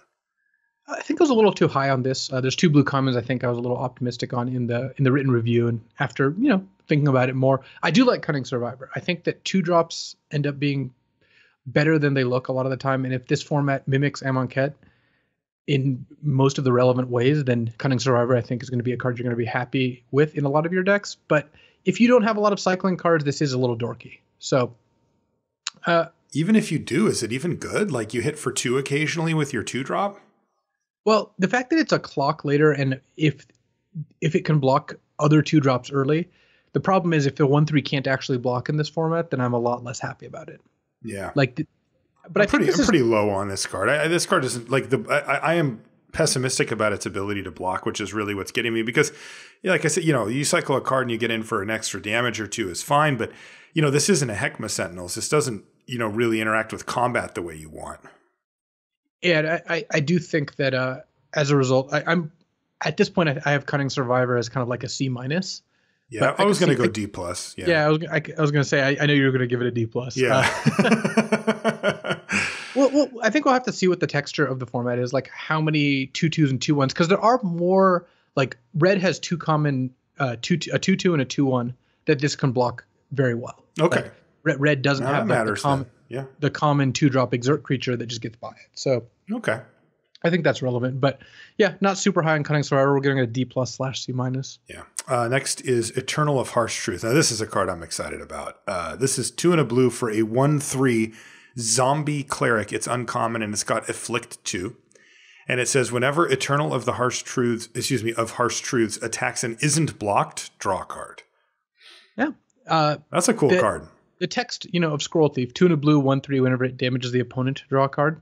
is Mhm. already a good card. Like that card was always playable and limited because what happens is you'll play this card on turn three, and your opponent now is like, well, I can I can't attack my two two into it. First of all, second of all, even if I let's say have a two two flyer that I played, if I attack and then play my card, and then next turn you're like kill your creature, attack, draw a card, that's so bad. So Oh, it's to a disaster. Yeah. I have to leave two creatures back to block it.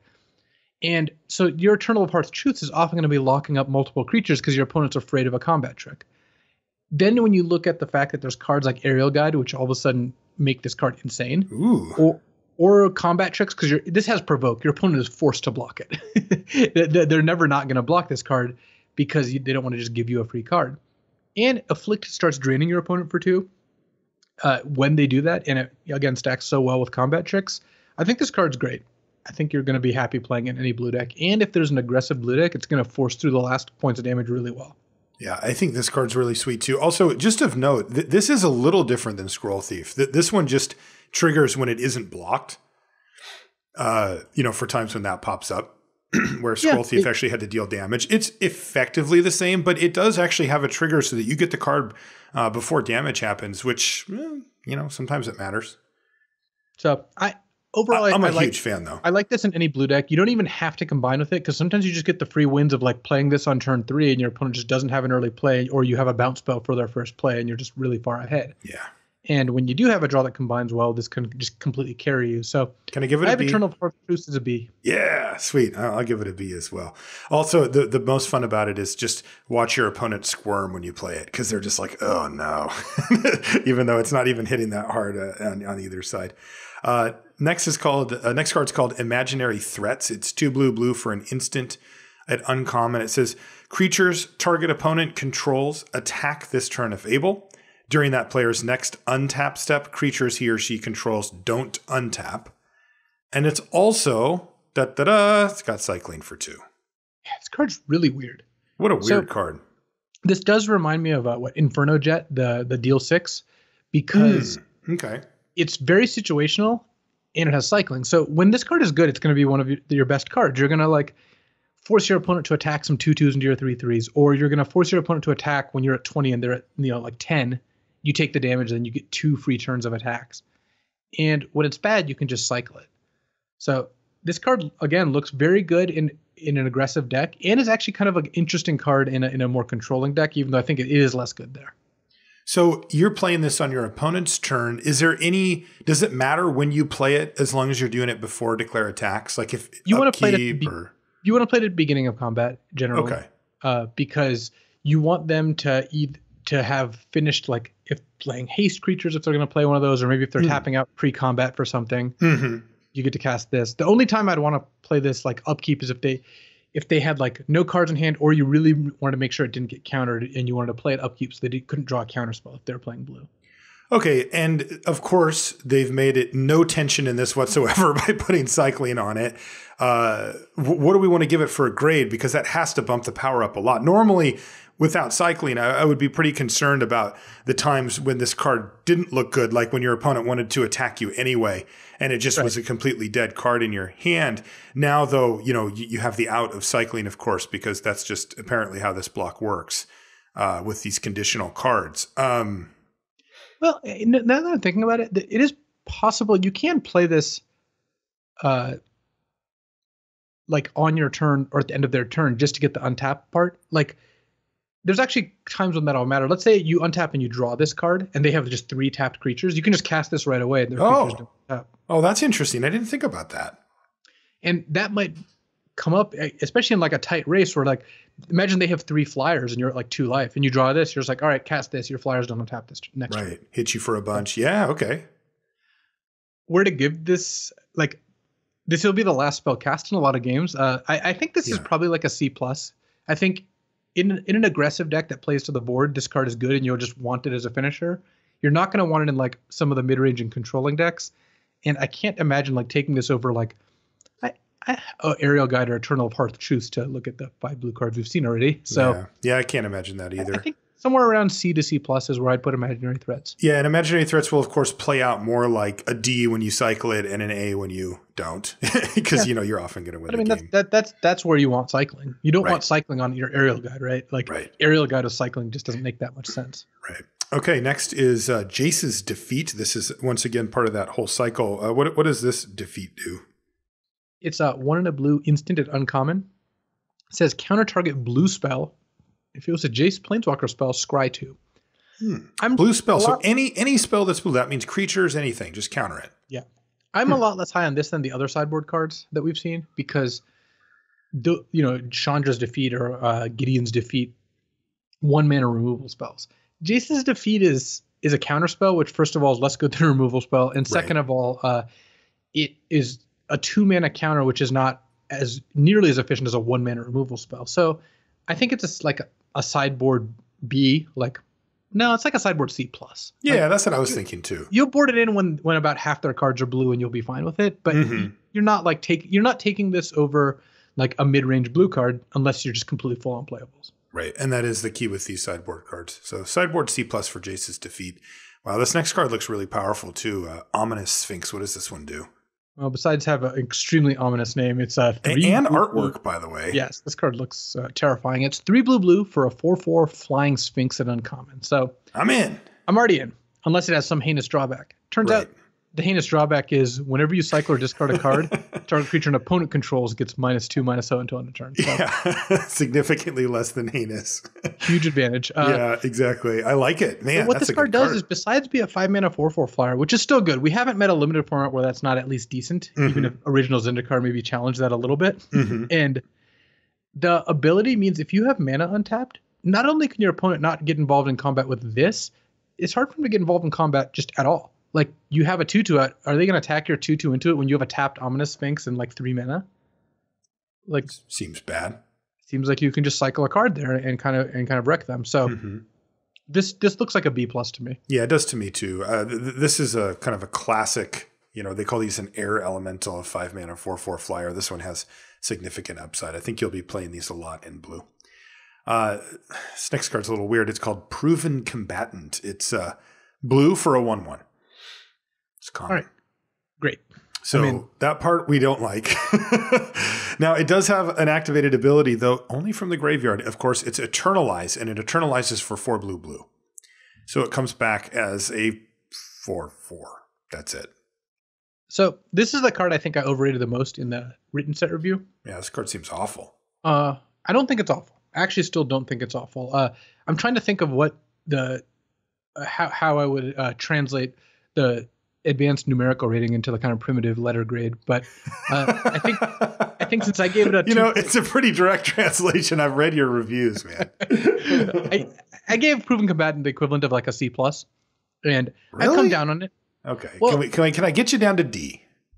No, you can't get me down to D. You can get me down to C minus. Okay. And here's, well, let me Explain explain why, yeah. why why I'm there and what will make it, you know, go up or down from there. I look at this and I look at something similar to a festering mummy or sacred cat. okay. If the format pans out that way, and there's a lot of two ones especially, then proven combatant is if it's half a card on the front side and a, a card on the back side, that is not that bad. I think Okay. that, that that it's a, it's and it's an early play that affects the board. That whole deal. Yeah, because there we, we- we got to a point in Amonkhet, you would just play all your one drops. Like this flies in the face of the things we've been preaching, but honestly, that's you know part of where where we ended up. Like Mhm. you you just played all the one drops. All the one drops were playable, and proven combatant actually works out well in that world.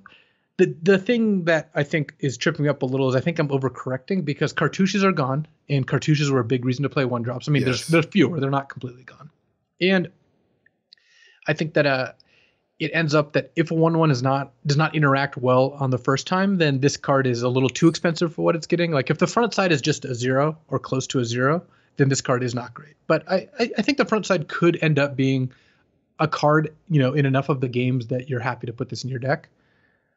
I Mm, think I I'm think you're. closer to s- I think you're off on that. Like I, I, re- I think the the vanilla, like you know, Sacred Cat had lifelink. When you augmented it, it became a real card.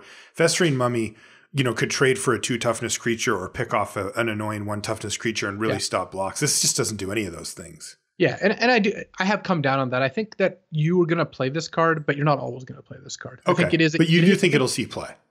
I think it'll see play, and I think it'll actually be like a fairly effective sideboard card. If your opponent has Yeah, I like that. one toughness early attackers, just random two ones, Definitely. this card's a great sideboard. Definitely. Yeah, I love that. I love proven combatant for that. So Just I- gives you I'm something to do late say- game. Yeah, I'm gonna still say C minus on proven combatant, but I'm not no longer as high as I was. Okay, I'm going to say D for proven combat. I think it's the type of card you'd rather not have in your deck, but occasionally will. Uh, next is Riddle Form, kind of a throwback style card here. It's one in a blue for an enchantment at uncommon. And it says, whenever you cast a non creature spell, you can have Riddle Form become a 3 3 Sphinx creature with flying, in addition to its other types until end of turn. And then also it gives it has an activated ability of two in a blue, scry one.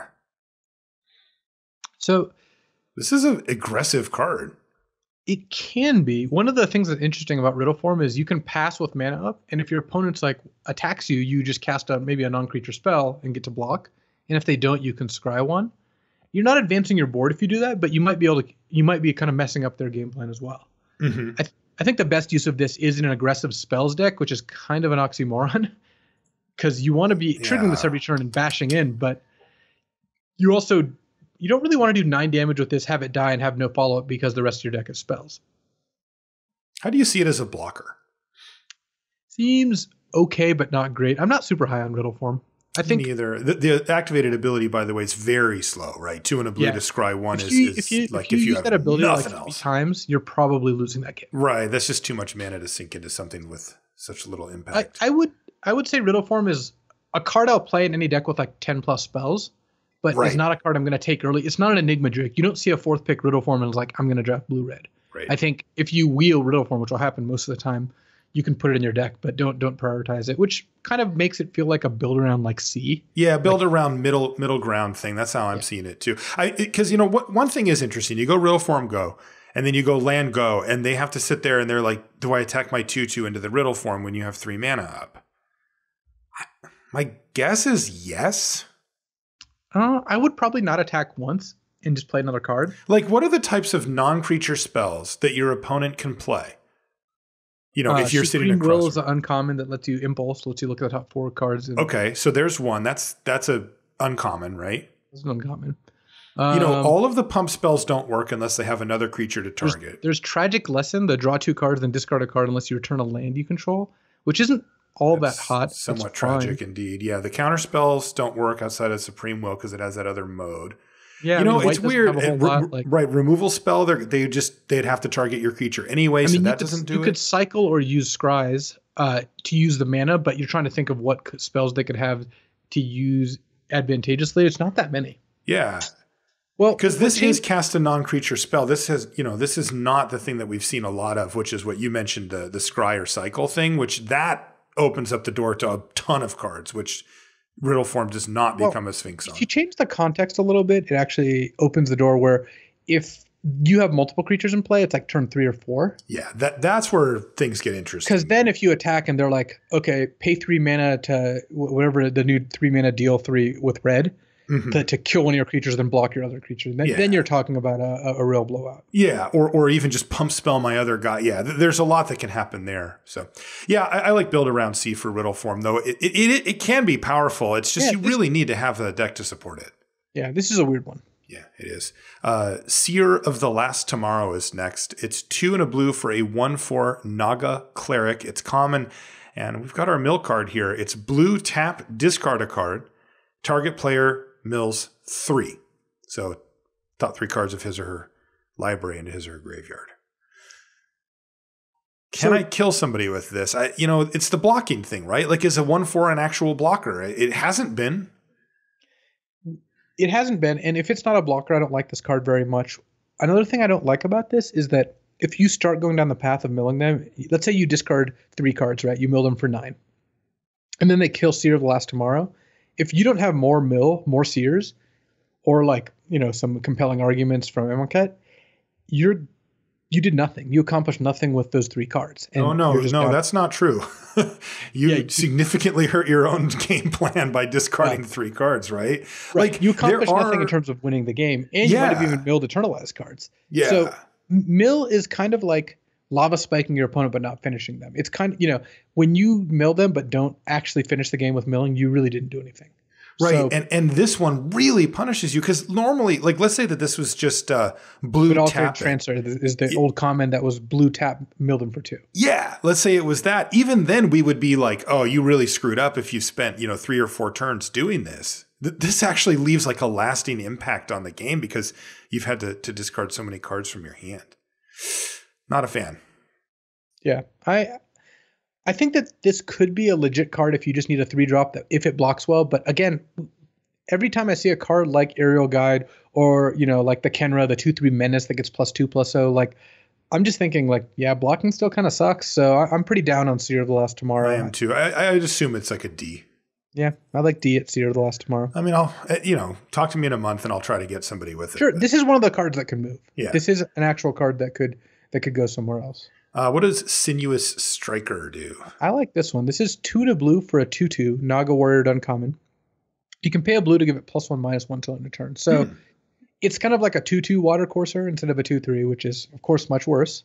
Indeed. But it also has Eternalize of three blue blue discard a card. So it's not it's like the other Eternalize discard a card uncommons. It's not card advantage, but it lets you in the late game trade your worst card, a land or a low impact spell, to get a four four. And the four four getting to pump for plus one minus one is is more relevant than the two two. Definitely. That that's a scary. You know, that's one where you're like attack, and they're like, "All right, well, I don't want to take seven, so I better do something about this thing." So I, Hmm. I like Sinuous Striker. I would I would give it a, a B minus. I think I would always play this and be happy taking it like third pick. I have This- a B minus too. Yeah, this feels like a card that moves you into blue. Yeah, I like it. I like the cheaper uh, Eternalize on those. Uh, Spellweaver Eternal is next. It's one in a blue for a 2 1 zombie Naga Wizard. Common, it's got Prowess and Afflict 2. I like this card a lot more than I did on my first take, and that's one of actually one of the interesting things I, I find about doing multiple reviews because I do them, you know, every every day matters, right? In between, Yeah. and I did the blue review a couple days ago, and now after just again thinking about it more, looking at the cards, talking to people, I have a different context. I think if there's an aggressive blue deck, Spellweaver Eternal could really lay the beatdowns. It'd be it could be kind of the the default common two drop for that type of archetype. If you can, if you, this is attacking as a three two a lot of the time, it's going to be great. And afflict creatures mean that if you can get your opponent down to four or six, then they they add up really quickly, especially with all that incidental damage that we were talking about in red. Mhm. So, like, if your opponent's at four and you play a Spellweaver Eternal, they're effectively at two. Yes. There's no way around that unless they kill it before you actually attack. Right. And there's just so Or few during decks attacks that can do that over and over again, right? Like keep killing your creatures rather than blocking them. Yeah. And the fact that this has prowess means that there's a lot of ways to stack up, you know, the damage with it, and, and it plays well with combat tricks. So I'm not saying I'm I, I'm super high on Spellweaver Eternal, but I think it actually could be a legit piece of a of a good blue beatdown deck, and well, I like it. I mean, I like it at C still. I'm it's a going right? Yeah, it, I was going to ask that, but but still, I, I agree. It, it looks like a D or a D plus to me at first glance, but I think you're right. It, if people are able to turn creatures sideways and blue is part of that equation, then this thing becomes a very very nice little two. If they're not, well, then it kind of falls off the cliff. I think. Um, strategic planning is next. Uh, just learned today. This is a reprint. Uh, one in a blue. of a very expensive Portal Three Kingdoms card. Oh yeah, very very much so. Uh, so it's one in a blue for a sorcery at common, and it says look at the top three cards of your library, put one of them in your hand and the rest into your graveyard. basically you're spinning your wheels here. You're you're spending two mana. You're not affecting the board at all. You're getting you're getting card selection. This is kind of like a better anticipate because it's look. It's almost always better to put cards in your graveyard instead of on the bottom of your deck Mhm. because you have cards you know eternalize and more options with cards like Wander in Death. But this is still the kind of card that I would tend to avoid playing unless I didn't have a lot of low drops, so I didn't think I was going to spend my turn two doing anything anyway, or cared about spell counts. Yeah, this is again. I've mentioned it a few times during this review, but this is a classic. Looks like I'll play it, and I don't end up playing it very often. Type card.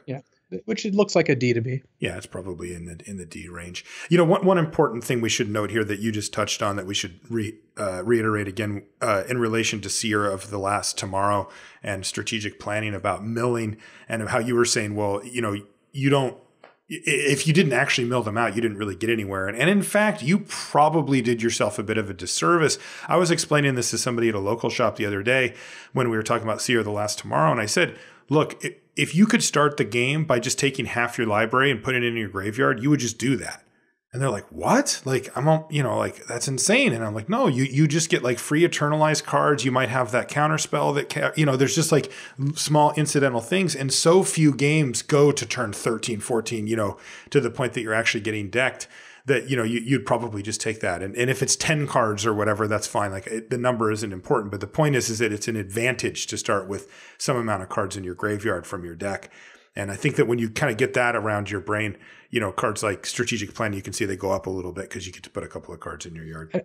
I don't know if I would start with half my deck in my graveyard. How far would you go? I mean, you'd take 10 Well, cards. what right? if you mill, mill the good half, like your, your bombs? Are You know, you know, we're trying to teach just derailing constantly. Uh Striped Riverwinder. This card's sweet. this is a six and a blue Mhm. for a five five hexproof serpent at common. It has cycling blue. So this is a I'm loving it. I, I wouldn't I was gonna say bigger river serpent. It's just a more expensive river serpent, but you get hexproof instead of the drawback of uh, being unable to attack sometimes. Yeah. Yeah, yeah, this card's great. I mean, you don't have infinite room for this kind of nonsense, but the the one mana cyclers are pretty uh, unobtrusive. Like you just got to play them a lot of the time. And a five five hexproof is an actual finisher. Really is. It's a very good card. Very good blocker to help stabilize the game and and it can attack well too. So I like Striped Riverwinder a lot. I mean, I still think it's like a C or a C plus. I was going to say C plus for it because of the cycling being just blue. You know, those cards really did kind of shine in the last set. The the single mana cyclers are so much better than the double. Yeah, I would still just give it a C, but I think that it is a fine card. I give it a the plus because of the artwork. It's like Uh, old, yeah, old, it it's old, pretty sweet. old school magic. I like Um, this next one. Uh, yeah, this card's good. Supreme Will. mm. It's like normal Will with uh, sour cream and tomatoes. Um, it's tuna blue it's it's an Oh, instant and uncommon, Everybody who's eaten too much Taco Bell in their life just is like, oh no. or they're hungry and they're, they're ordering Taco Bell. yeah, right now. that's true. It's tuna blue. It's uncommon. It's instant. It's uh, it's a split card. Uh, you choose one counter target spell unless its controller pays three, or look at the top four cards of your library, put one in their hand and the rest in the bottom. So it's literally Mana Leak plus Impulse, Mhm. which are both two mana spells, but you get the luxury of choosing between them for three mana. I like it. Oh, this card's great. And yeah. the reason it's great is three mana counters. It's not that they're It's not that they're bad when they work. When you counter, when you pay three mana and counter their four or five drop, or even their three drop, that is fine. Yes. right? That is a fine card. The drawback, and we actually saw this pop up in the in the subreddit about cancel, because during my draft videos, everyone else's draft videos, everyone else's streams, cancel just gets passed bypassed without a second thought. No one even talks about it. The, the drawback of three mana counters is that when you leave three mana up for a counter and they don't play a card you can counter, they like spend their turn cycling or pass because they have an instant or whatever. You just lost three mana. You don't get it back. You did nothing. Supreme Will doesn't have that drawback. If if you pass with this up and they don't play anything you want to counter, you can just cast it to to get some card selection, and that is fine. And it goes deep. I mean, we're looking at the top four cards. That's 10% of your total library that you get to see just with this one card. It's a lot. And, it, and it's going to be 10, per- you know, more than 10% of what's left as well. So uh, you, you can, you know, it- I think we've all had those type of decks that required a specific build around or maybe a bomb that you had. And, and this can actually dig you pretty deep into your library. So I think both sides look pretty good on this thing. Yeah, I, I, I'm a fan, and uh, I, I think that I, I will play this in basically all my blue Oh, I decks. know I you'll think, play it. yeah, I think a really aggressive blue deck still might want this card because it's just a good way to spend your mana. Mhm. Like if you're if you're playing a fast game and you can play like a two drop, a three drop, then leave this up, like you're gonna stop them, and then late game it's still a fine card. So. Yeah. Yeah. I, I like Supreme Will at B minus. I'm still not saying it's like, you know, a card I would take over like an aerial guide necessarily, but I think it's good. Okay. I like it at B minus two, and I was hoping you were going to say B minus. Uh, Tragic lesson. Man, this is a beating of a artwork, by the way.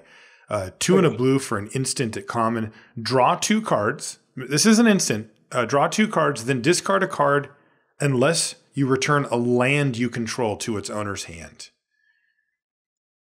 This is a weird one. It, it is. I so it's catalog at it's catalog with like flexibility because catalog is two and a blue instant draw two discard a card, hmm but catalog's not very good. It's just not a card you really want to play. Right.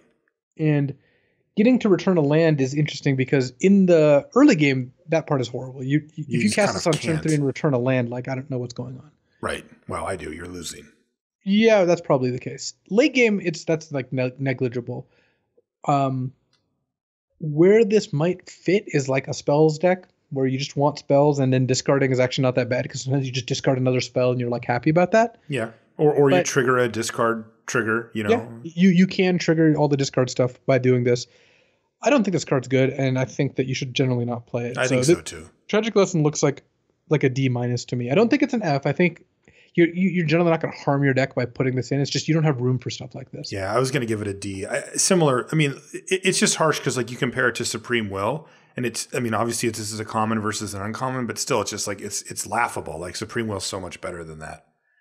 Um, next card is called Unquenchable Thirst. It's one in a blue for an enchantment aura at common and enchants a creature. When it enters the battlefield, if you control a desert or if you have a desert in your graveyard, you tap the enchanted creature. So this is something you're going to be playing on your opponent's creature. Enchanted creature doesn't untap during its controller's next untap step. Uh, Oh, sorry.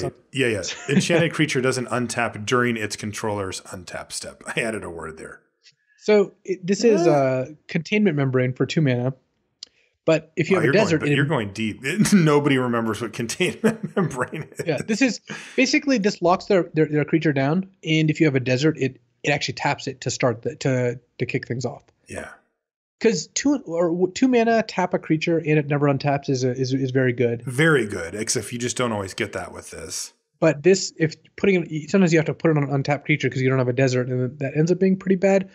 Another thing that I Well, you can that- also just put it on a tapped creature. yeah, and that's also fine. Yeah. Uh, but you got hit by that once at that point. Um, yes. One thing that makes this a little worse is that there's just a lot of untap effects in the set because they work with exert. Mhm. So if you play this and your opponent plays a Dauntless Aven, yeah, like, I was gonna, I was thinking of that exact thing. you just get embarrassed. So yeah. I think this card is fine if you're if you don't have any deserts in your deck. It's more of a defensive card. I wouldn't want this in my aggressive decks.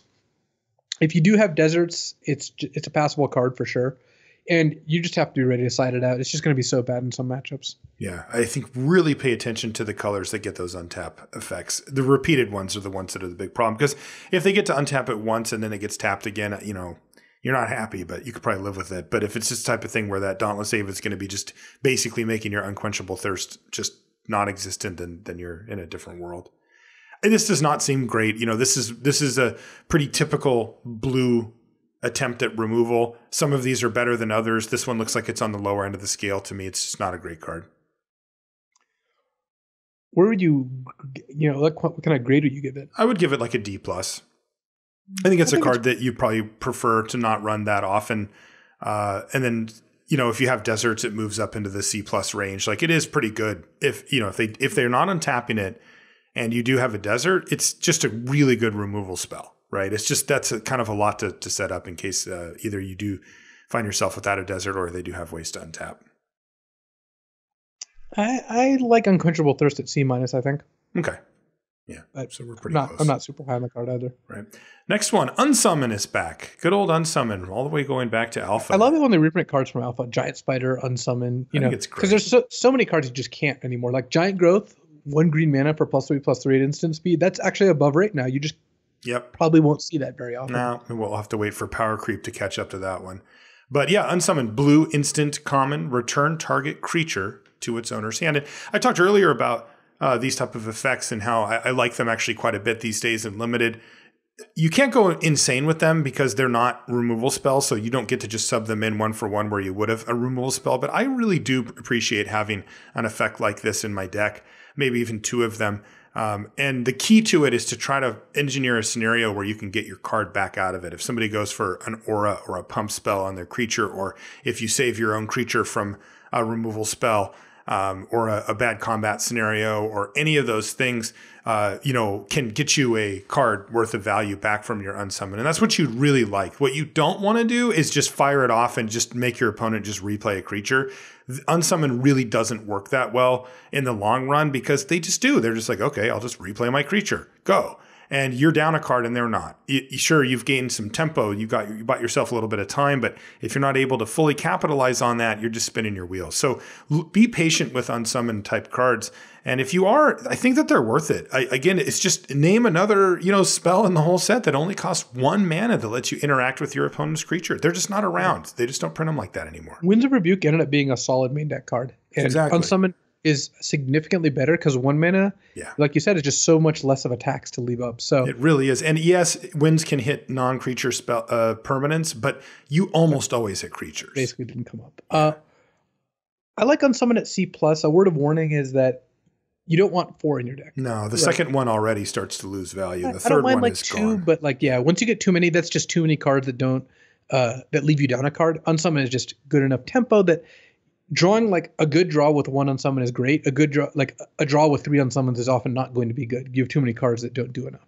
Now, if you have two Eternal of Harsh Truths, go ahead. Take all the unsummons and play them because that is just a game plan that can actually work. So, do you like it at C plus? I do. I do. I think that's exactly where it should be uh, for for such a cheap interactive spell. Last blue card is called Vizier of the Anointed. This is a neat one. It's kind of a a build around type card. Um, it's three and a blue for a 2 4 human cleric. This is an uncommon. And it says when it enters the battlefield, you can search your library for a creature card with Eternalize or Embalm and put that card into your graveyard and then shuffle your library. And then it has a static ability that says whenever you activate an Eternalize or Embalm ability, draw a card. So this is cool. By itself, if you play this, and then they kill it, and then you embalm whatever you got or eternalize whatever you got, you're up a card. Mm-hmm. If if they don't kill this and you do that, you're up two cards because you drew a card off the ability. That's right. And it also works with just other random eternalize or embalm creatures you have. So yeah, you know I, the thing the, the thing that stands out is that you might read this and say, okay, I need a whole bunch of embalm. Like I'm going to build an embalm deck. No, you need like two or even one. Like it'll go search the other one up out of your library. So you know the, the this thing isn't really all about critical mass as it's just about having at least meet the requirement of one or two eternalized and or embalm creatures, which I think makes it a lot better. I think I would play this if I had one card to go get, and if, once you had two or more, yeah, you're you're it's just a great card. Yeah. I like it. I, I like it for the cheaper embalm creatures too, but this one's also four, so it's not a big stretch to play this. Go get an uh, eternalized card for six. You know, play something on five and then eternalize draw card. And I like the stats two for on a four is good enough, you know, uh, to to be a decent blocker, hopefully, or a double blocker or whatever. So I like Vizier of the Anointed a lot. I just think it's a good card. Like, and, and I'm also confident in taking it early. Like I would take yeah. this third pick when I had no cards that went with it, under the assumption that I can pick one up. Absolutely, and again, one or two is fine. And if you have more, you can great. go off with Sacred Cats. yes, yeah. Oh wow, you really can. um, I'm going to say B minus for Vizier of the Anointed. I just think yeah. you're going to be able to make it work. I like B minus for Vizier.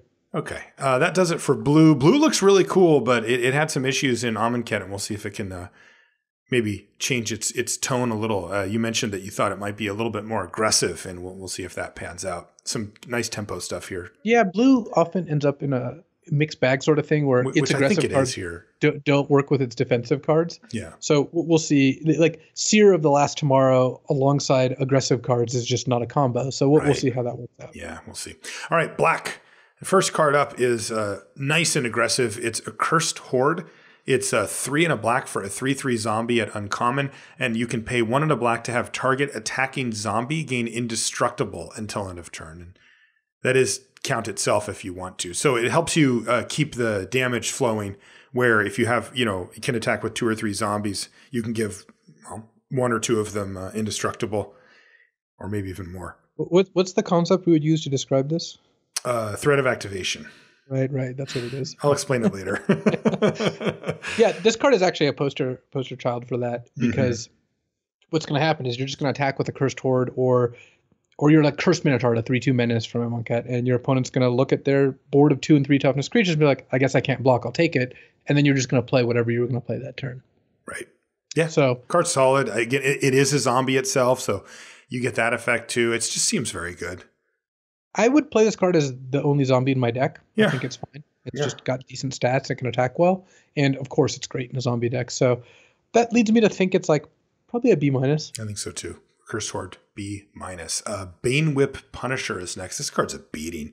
It's two and a black for a 2 2 human warrior at uncommon, and when it enters the battlefield, you may put a minus one minus one counter on target creature.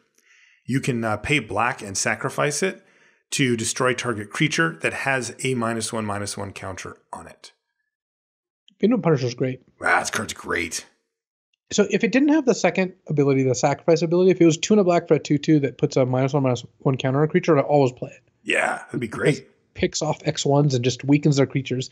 The fact that you can also sack it to kill whatever you weakened or whatever has a minus one minus one counter from your other effects, and you can do that at instant speed, just makes this card fantastic. Yeah, uh, I think it's really good.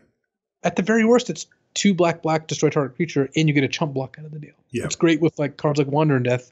They don't get creatures back from your graveyard. So yeah, and the ceiling significantly higher. Like you said, you could play it, pick off a small creature, and then incidentally have something big with just a single minus one minus one counter on it later in the game, and kill that too. Yep, it's a beating. This looks like a B plus to me. Me too. I, I think Banewhip Punisher is going to be uh, take it early type card, and I got to tell you, you know, given how the format played out in Amonkhet and how things look like they may be shaping up here, this is the type of card that can really uh, stop an, an, aggressive start. So I like that. Uh, next card is called Carrion Screecher. It's three and a black for a 3 1 zombie bird at common, and it's got flying. So three this is a lot worse than Aven Initiate, which ended up being kind of medium. Yeah, and this is way worse. I mean, it, it gets oh, yeah. zombie as a card zombie, type, but, but eh, the other one, Aven Initiate did too sometimes. So I don't know. I don't know if that's uh, enough to carry it. Uh, probably not. Um, look, the thing that I do like about it is that it's in a color that tends to play out much more aggressively than blue did. So putting up an evasive three powered threat for four mana is a way to push through some damage and maybe uh, you know push an aggressive deck over the top. Um, the downside, of course, is are, are many. Um, you know, it's so fragile at just one toughness, and uh, and really just can't interact in combat in a meaningful way without dying. So, you know, at four mana, this is this is not a great card. It's um, a three power flyer. But it is a three power flyer in a color that tends to want to get people dead, and it is a zombie, which does matter. Uh, it really, you know, your I think you're going to play this card a decent amount. I just I Yeah. don't think it's great. And I, what I think if you start with Carrion Screecher in your deck, which is acceptable, side it out if they have lots of ways to punish one toughness creatures. So, you know, sure. if if you end up seeing like just multiple ways to deal one or, or put a one counter on something, then you just don't want this card in your deck. Yeah, or if they have one one flyers or whatever. Yeah, I, I would assume it's like a C though. Yeah, it looks like a C to me. Uh, what does Doomfall do?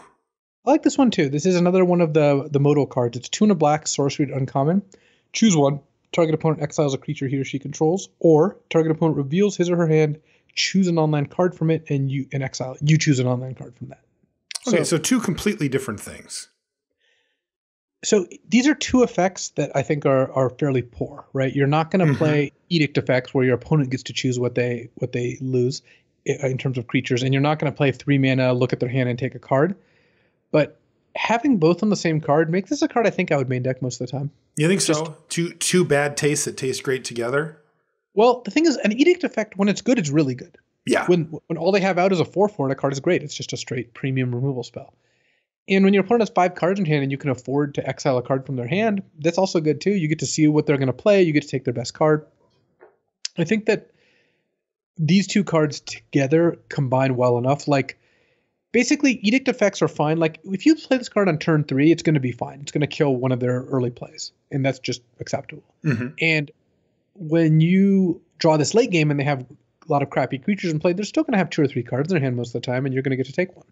So I like Doomfall. I, I'm not like taking it early or going nuts over it, but I think in like a, the average mid range deck, you should pretty much always play it, which kind of indicates that it's like a C to C plus to me. this is a very difficult card to grade, No, or to even graded just to evaluate. but I just did that. Well, I meant correctly. Oh, Yeah. I don't think that's what this survey was about. uh, sure. I mean, I, yeah, I, I think what you said makes sense. I think it falls somewhere in the middle where you're never thrilled necessarily. Also, I will note that it does seem to get pretty bad in the extreme late game where it's, you know, an edict effect tends to be pretty bad at that point because they often have expendable creatures and where they're often top decking or out of cards. So it does lose value in the very late part of the game, which I think is relevant. Um, but yeah, it's like probably a C minus or a C. I mean, it seems fine. I like I like having that choice. All right, I'll, I'll, I'll be willing to, to be talked down to a C, I guess. All right, uh, Grisly Survivor. What is what does this guy do? It's uh, two and a black for a 2 3 Minotaur Warrior at common. Whenever you cycle or discard a card, it gets plus 2 plus 0 until end of turn. So it's a Hekma Sentinels that gets plus 2 plus 0 instead of plus 1 plus 1. Unfortunately, I think that's worse. That's worse for sure. Not going up in toughness means your opponent can attack into it with a 3 3 and just know that worst comes to worst, you trade. Yeah, same thing on blocks. Yeah, So I, I'm uh, I'm not impressed with Grisly Survivor, though I think it's playable. I In a blue black cycling deck, it can hit for a decent amount of damage. I I would end up uh, probably giving Grisly Survivor like a, a C minus. yeah. I, I think I'm going to give it a D plus. I think this card's a little below the curve. It's also not a zombie or anything like that. So I'll, I'll say that a D plus for Grisly Survivor. Khenra Eternal's a nice one though. What, what is this? What does Khenra Eternal So- do? One in a black for a 2 2 zombie Jackal Warrior at common and has afflict 1. So, 2 mana 2 2 zombie was playable, as we saw with Miasmic Mummy, where the discard was maybe slightly better for the zombie decks, but yeah, just- but annoying still. yeah, it's still not really like particularly uh you know impressive, but it was a, it was a two drop zombie, so you you just played it. And this is a zombie. Afflict one is a nice little bit of upside, so I like C plus for Khenra Eternal. It's I- not a think particularly you- I- exciting card. You're just yeah. gonna play it a lot though. I like it too. I mean, the, the fact that it's a zombie is going to push it over the top, and then uh, it's just going to be the sort of the default common black two drop. You're going to see it all the time. So C plus for Khenra Eternal. Uh, speaking of default black cards, here's Lethal Sting. This is two and a black for a sorcery at common. It says as an additional cost to cast Lethal Sting, put a minus one minus one counter on a creature you control, but its effect destroy target creature, just dead. I like Lethal Sting. Yeah, You're you're gonna play this card in any deck that has a decent amount of creatures. Th- This is not the kind of card you can play like a nine creature deck, but if you have like 13, 14 creatures, especially some that have two toughness, so you're not just killing your own creature, then yeah, Lethal Sting is, is, is fine. I mean, it does what you need it to do. And Right. it works with Proven Combatant. It's a pretty sick combo. with which one? The one mana, one one with Eternalize uh, up six. Oh, sure. I guess it does combo off pretty hard with that, doesn't it? but yeah, I, you know, you kind of had me at three mana destroy target creature. Like, yes, the downside's real, but that's that's very very powerful. Kills anything you need to get killed. So I like that. I think lethal sting you're going to see all the time. Um, I think it's a B minus. I, I, I, it might just end up being a B, being a B or whatever. But the minus minus one counter does count. I mean, that, that's a real cost. Uh, you know, if you don't have any creatures, you can't even cast this. So yeah, it, it is a real cost. I, I like B minus for lethal sting, but and it's the kind of card that doesn't stack well because when one's dead, they're all going to be dead. And if you have a two two and you have two of these in your hand, it's not as good. Right. But I still think I, I would take this card fairly high. Me too. Uh, what about Liliana's defeat? Uh, it's one black mana for a sorcery uncommon, destroy target black creature or black planeswalker, and if that permanent was a Liliana planeswalker, her controller loses three life. So, so in our for our purposes, black sorcery destroy target black creature. So this is comparable to Chandra's defeat and Gideon's defeat. I think a little worse because it's sorcery speed. I think Chandra's defeat's the best one because mm-hmm. that's just deal five. Uh, Gideon's defeat requires it to be attacking or blocking, which means you can't take out a blocker. This can take out a creature before they block. But it is sorcery. Still, I think it's about the same as them in that it's a sideboard B. Like yeah. you'll take it over, over, a lot of mid-range cards, and it'll be great when you side it in. Yeah, that's what I was thinking too. See, th- these all seem fine to bring it out of the board against the right thing, but not main deck.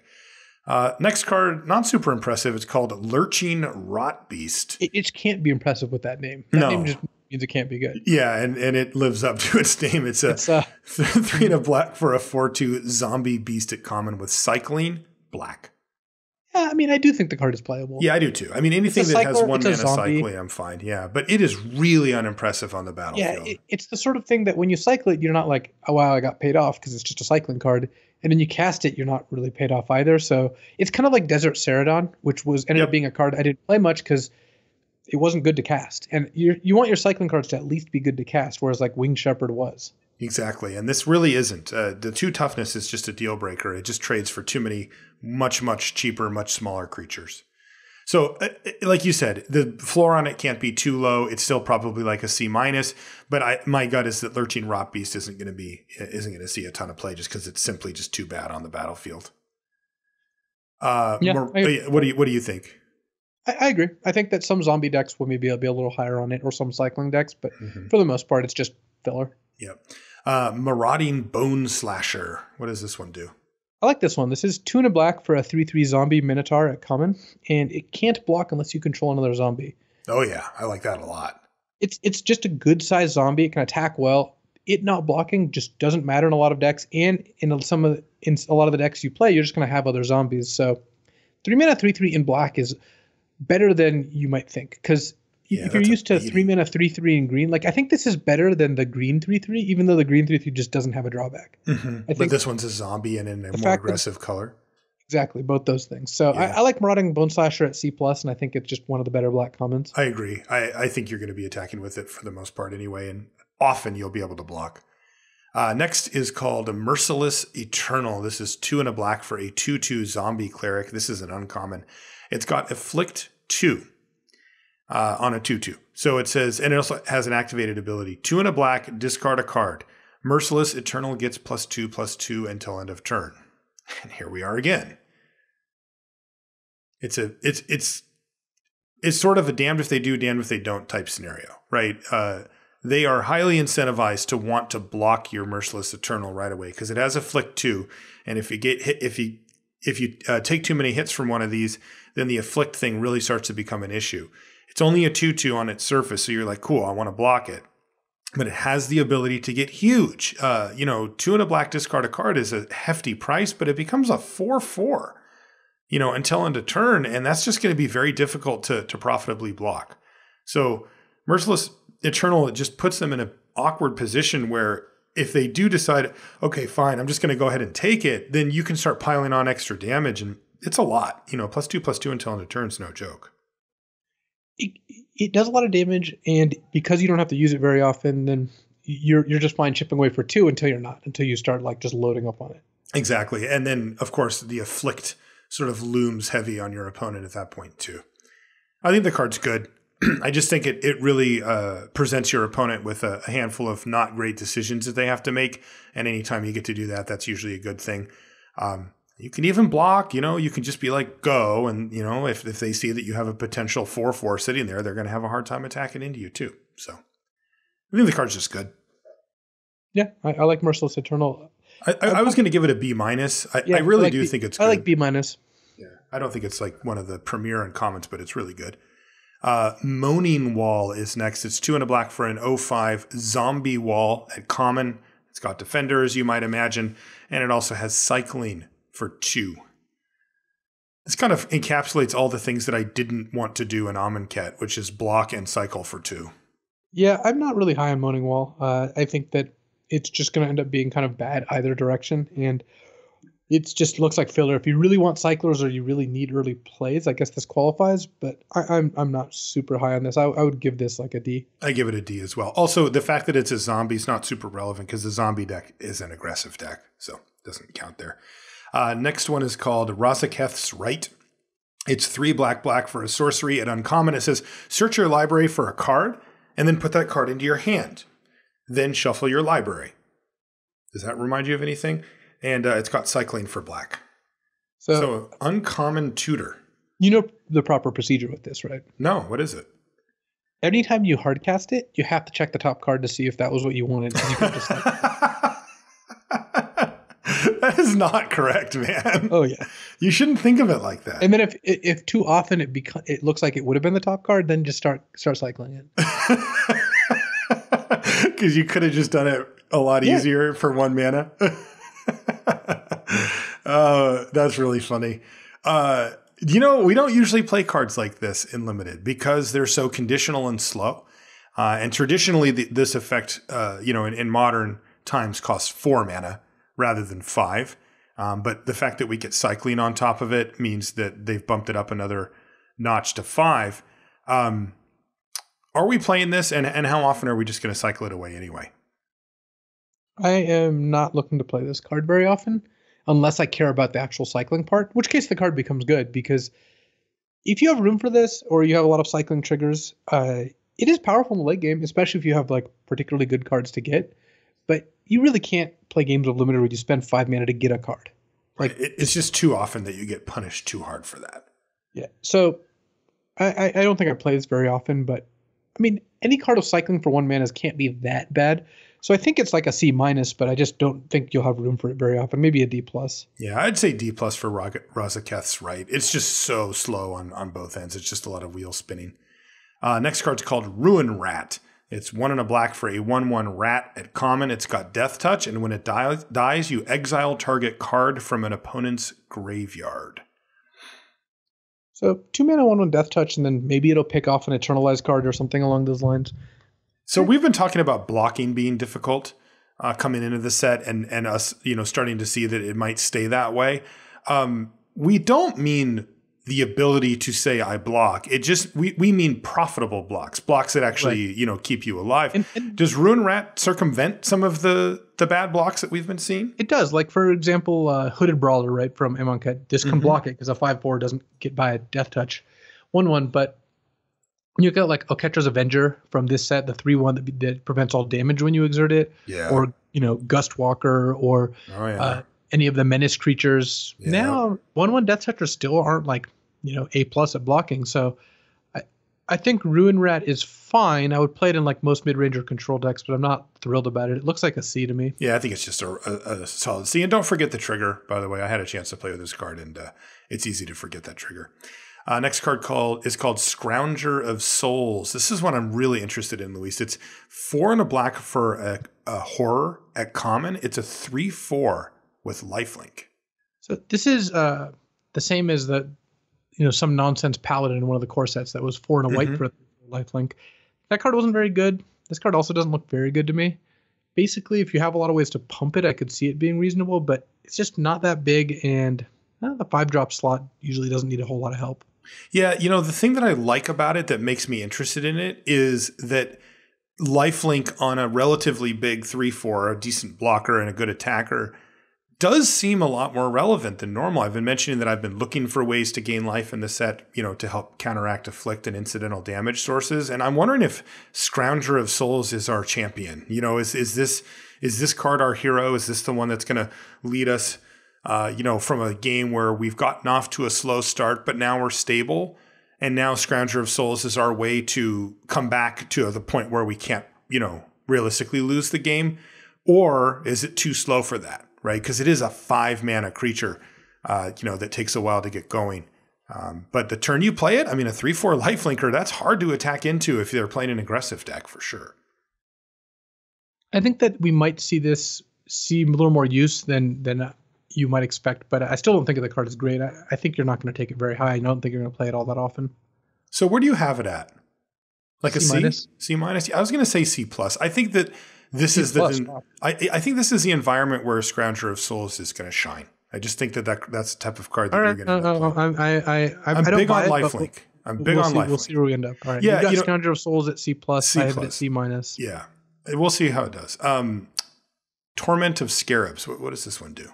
This is three in a black uh, for an aura curse at uncommon. You enchant your opponent, and that player loses three life at the beginning of their upkeep unless they sacrifice a non-land permanent or discards a card. Nope, I'm out. Nope, this card is uh, an F. Basically, you put this on your opponent, and they're gonna pay three life a few times, then start sacking lands or discarding garbage cards, and that's just not a good card. Right. and, and to the people who think, well, that's not that bad, remember, you spent four mana and an entire card to not do much. If they're beating you down, you didn't do anything. Right. Uh, th- this is a huge cost. A card out of your hand and, and the four mana is a big, big cost in an aggressive format. So yeah, I, I would I would give Torment of Scarabs an F. Anytime you give your opponent this many choices and this many different types of uh, resources to to whittle away, they're just going to do the one that doesn't matter for that game and kill you while you sit there and stare at your your curse. So, yeah, I don't like it. I like F for Torment of Scarabs. On the other hand, Torment of Venom is two I black can black. Get behind this one. Yeah, two black black for an instant at common. Put three minus one minus one counters on target creature. Its controller loses three life unless he or she sacrifices a, another non-land permanent or discards a card. This card's great because four mana for three minus one minus one counters on one creature is a card you should just always play. Yeah, instant And speed. yep. Got a little upside, so uh, I'm a pretty big fan of Torment of Venom. I think this is just probably the best black common. I think so too. Uh, I would give it a B minus. I would too. I actually just give it a straight B. I think this is going to be the you know one of the uh, better removal spells in the format. And you know, just to clarify, the difference here is yeah, your opponent also gets a choice on whether they lose three life or sacrifices another non-land permanent or discards a card. So they have a couple of choices to make there. And you think, well, didn't you just say that they get that choice? Yes, that's true, except for that that's pure gravy right? That that extra ability is just bonus on this card. The reason you're playing it is for the three minus one minus one counters. That's the important part. And hey, if, if you're going to tack on, you know, some they lose three life or they have to do something that they'd rather not do, I'll take it. It's just you don't want to play cards where that's the only effect. I like B for Torment of Venom. You said B right. minus or B? You're going to I, come I'm fine. with- I'm fine with B. It's just you, this is a premium common, and you're going to take it. Right. Uh, Vile Manifestation. One in a black for a zero four creature horror at uncommon. It gets plus one plus zero for each card with cycling in your graveyard. And it also has cycling itself, cycling two. It's So this basically is- Tarmogoyf, right? Just straight up. Well, it's the cycling Enigma Drake, right? yes.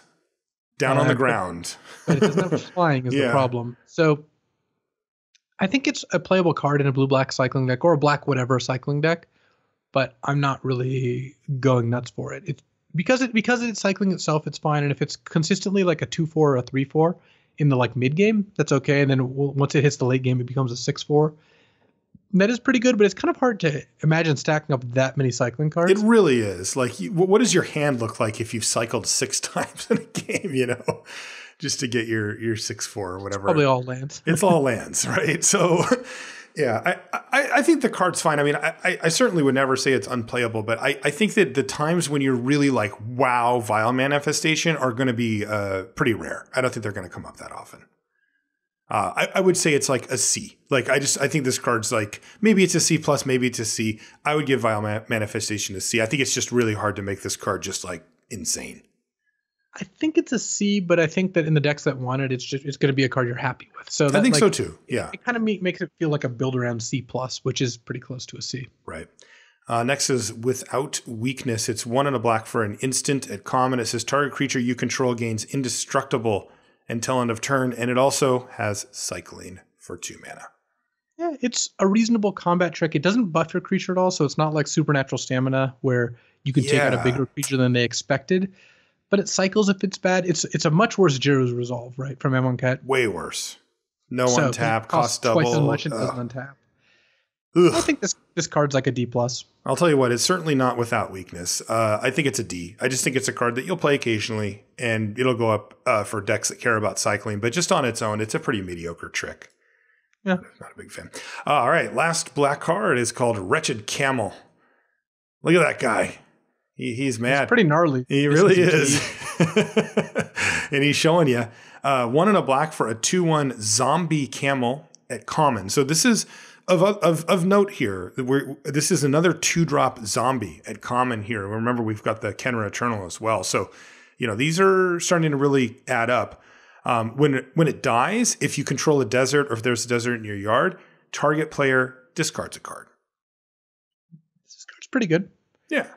If you want a two drop or you want a zombie, you know, two drop or zombie, then uh, you, you, you, you, you'll, you'll play this card. oh, man.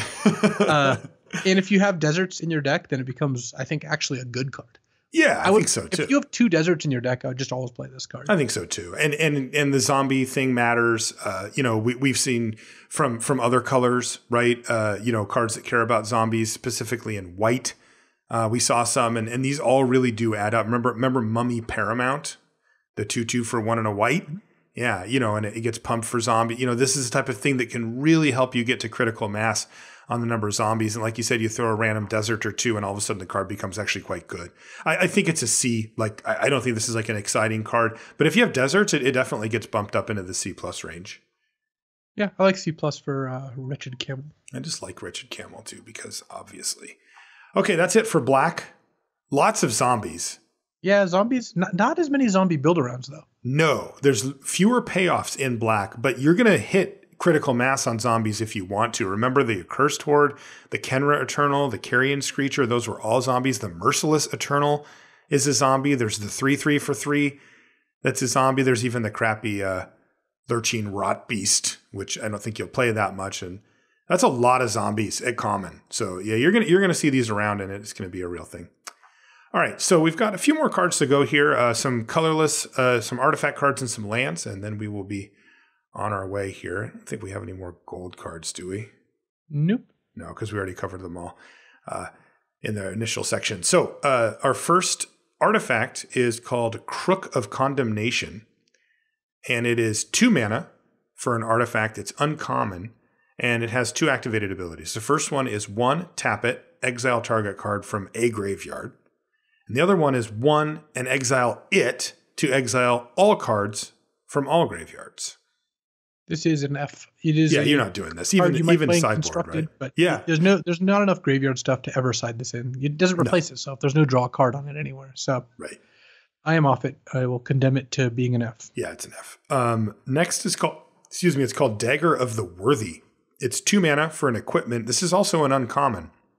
The equip cost is two. And of course, that's where we really uh, focus our attention when we talk about equipment. And this is right there, right? Like if either of these numbers was one higher, specifically the equip cost, I would be kind of just like, no. And as it stands, equip two is like, okay, I- I'm listening, but you really need to impress me Dagger of the Worthy. And this is what it gets. The equipped creature gets plus two, plus zero, which actually does impress me. That that's a big power bump, and it has afflict one. I, I kind of like it. I'm actually like I'm on board for this. Like the, So the it's a- cost a is tor- ri- It's a torch gauntlet that you never played, but Mhm. it, it gets afflict one. Yeah. And I think in an aggressive set like this, you know, making it so that you equip this up to a creature that has lost its luster on the board and you just send it in. And it's going to trade for anything that blocks it for the most part, right? Unless they have, you know, 6 6 or something like that. And if it does, they take a damage too. And then you move it over to something else and do it again. And I think that, you know, this is going to pull its weight in an aggressive deck enough that the two power plus the fact that even if they do end up trading off for a bunch of small creatures, your the afflict really does start to add up quickly. And it, this can be a late game finisher. I talked earlier about the incidental damage primarily from afflict, but from other cards as well. This is a repeat source of that.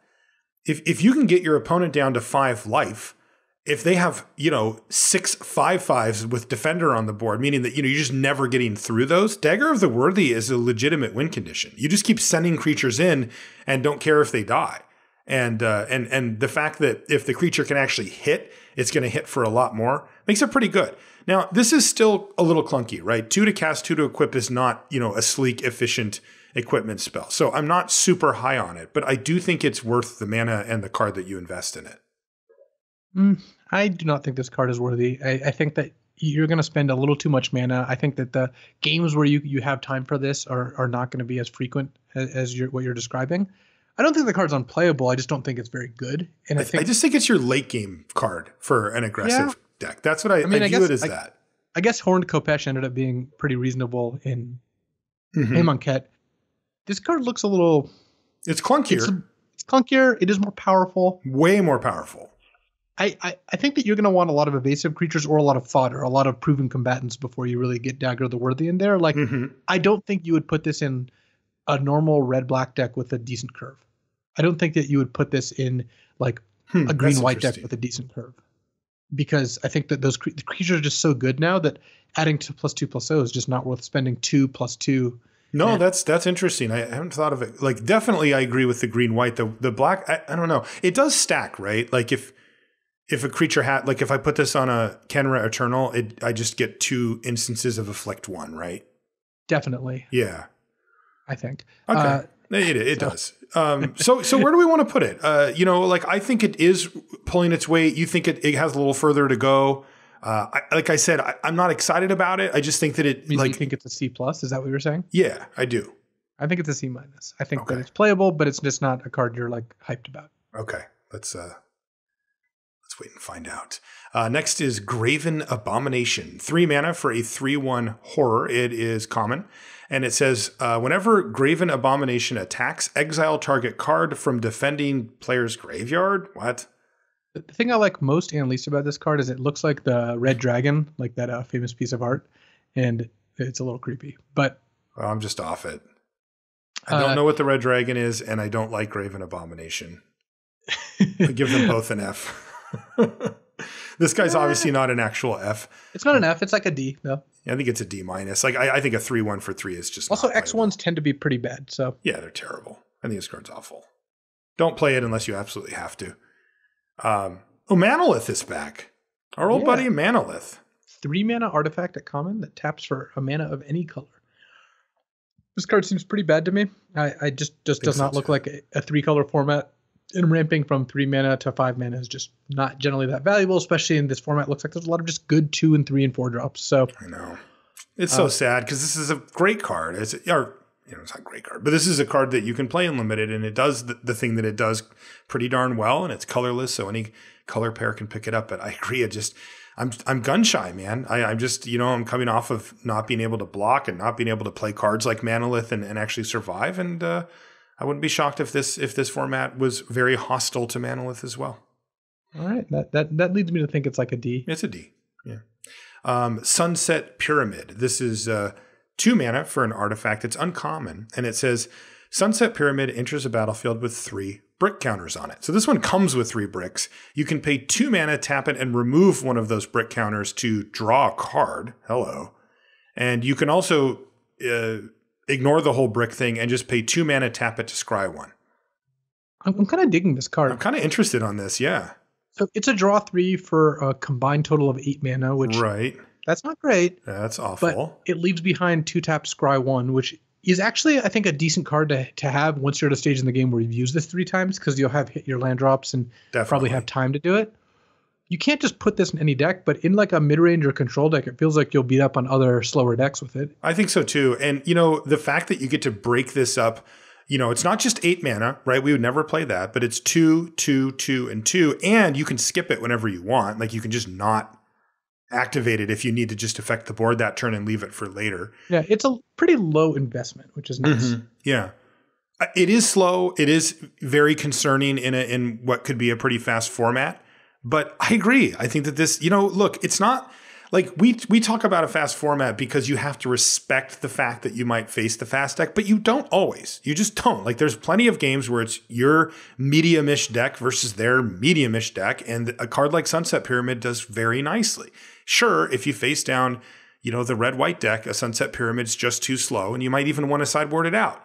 But you know, against uh, against any of these slower decks, this is a type of card that can really get you far ahead. And you know, you can do this on your upkeep, the scry, and and start manipulating your draw step uh, pretty significantly. Um, you know, in the late part of the game when you can afford the mana for it. So I like Sunset Pyramid. I I think it's a good card. I do. I just think it's a good card. Well, I like it too. I I mean, I'm giving it like a C or a C plus because Yeah, I I, like it. I just like, I like the it at flexibility. I like it at C plus, and think that you just have to pick your spots with it. You just can't jam it in every deck. But I think even like a low curve aggressive deck, this could be a way to refill to, to win a late game. Yeah, you you can't afford too many slots like that, but you could afford one. Yeah, yeah, Um, just one. Yeah, just the one. I, I, I like Sunset Pyramid at C plus. Yeah, I like that too. Uh, Traveler's Amulet, another reprint. This is uh, one mana for an artifact at common, and you can pay a mana and sacrifice it to search your library for a basic land card, reveal it, and put it in your hand, and then shuffle. Yeah, It's there's not ma- a it's a two mana incentive- way. Yeah. not a huge incentive to be running this card just because you're again not playing three colors, and I think if you're playing two colors, you don't really want to pay two mana to go get a land, even if it's one and one. Mhm. So- you really don't. You, you could I- die. I'm just not I'm just not into this card. I think Traveler's Amulet is, is a D unless you have particularly harsh mana restrictions or are playing three colors. Right. And you know, this is by the way a good signpost for for the way that I mean there's there's been sets where this is just a totally like it replaces a basic, you know, cuz you just can fix your mana. And I'm just not in that world. Uh last artifact is called Wall of Forgotten Pharaohs. It is 2 mana for a 0/4 defender. Uh, it's an artifact creature wall at common and you can tap it to have Wall of Forgotten Pharaohs deal one damage to target player, but you can only do it if you have a desert or a desert in your graveyard. So this is the Vent Sentinel of Deserts Don't say that. of a sorts. Uh, I'm not. I I'm, I'm not a big. I'm not a big fan of this. Like, I don't think a 04 is going to block all that well, and I think the Desert Control deck just seems kind of unrealistic. So Yeah. this looks like a like a D minus to me. I love the desert control deck though. Maybe it's a thing, but yeah, whatever. I, I would give Wall of Forgotten Pharaohs a D minus. It just doesn't look good. Like I don't know, really know what we're doing. I, the only hope we have is that it is a common, so maybe you can do it. The thing that turns me off to it is that again, an 04, at least in the last set, just was not a good enough blocker. And when you combine the f- fact that there's still those cards, and also now Afflict is a thing, zero powered blockers just look way worse, right? You're like block your Khenra Eternal, like yeah, sure, take one anyway. It's just like man, I'm not even. Oh yeah, Flick even just this card's just an F. I'm- yeah, I'm- it just all- sucks. Yeah, Flicked really screws over these type of cards. Sorry, Wall of Forgotten Pharaohs, but uh, you are exactly that. All right, uh, that leaves us with a few lands, and then we're going to call this thing.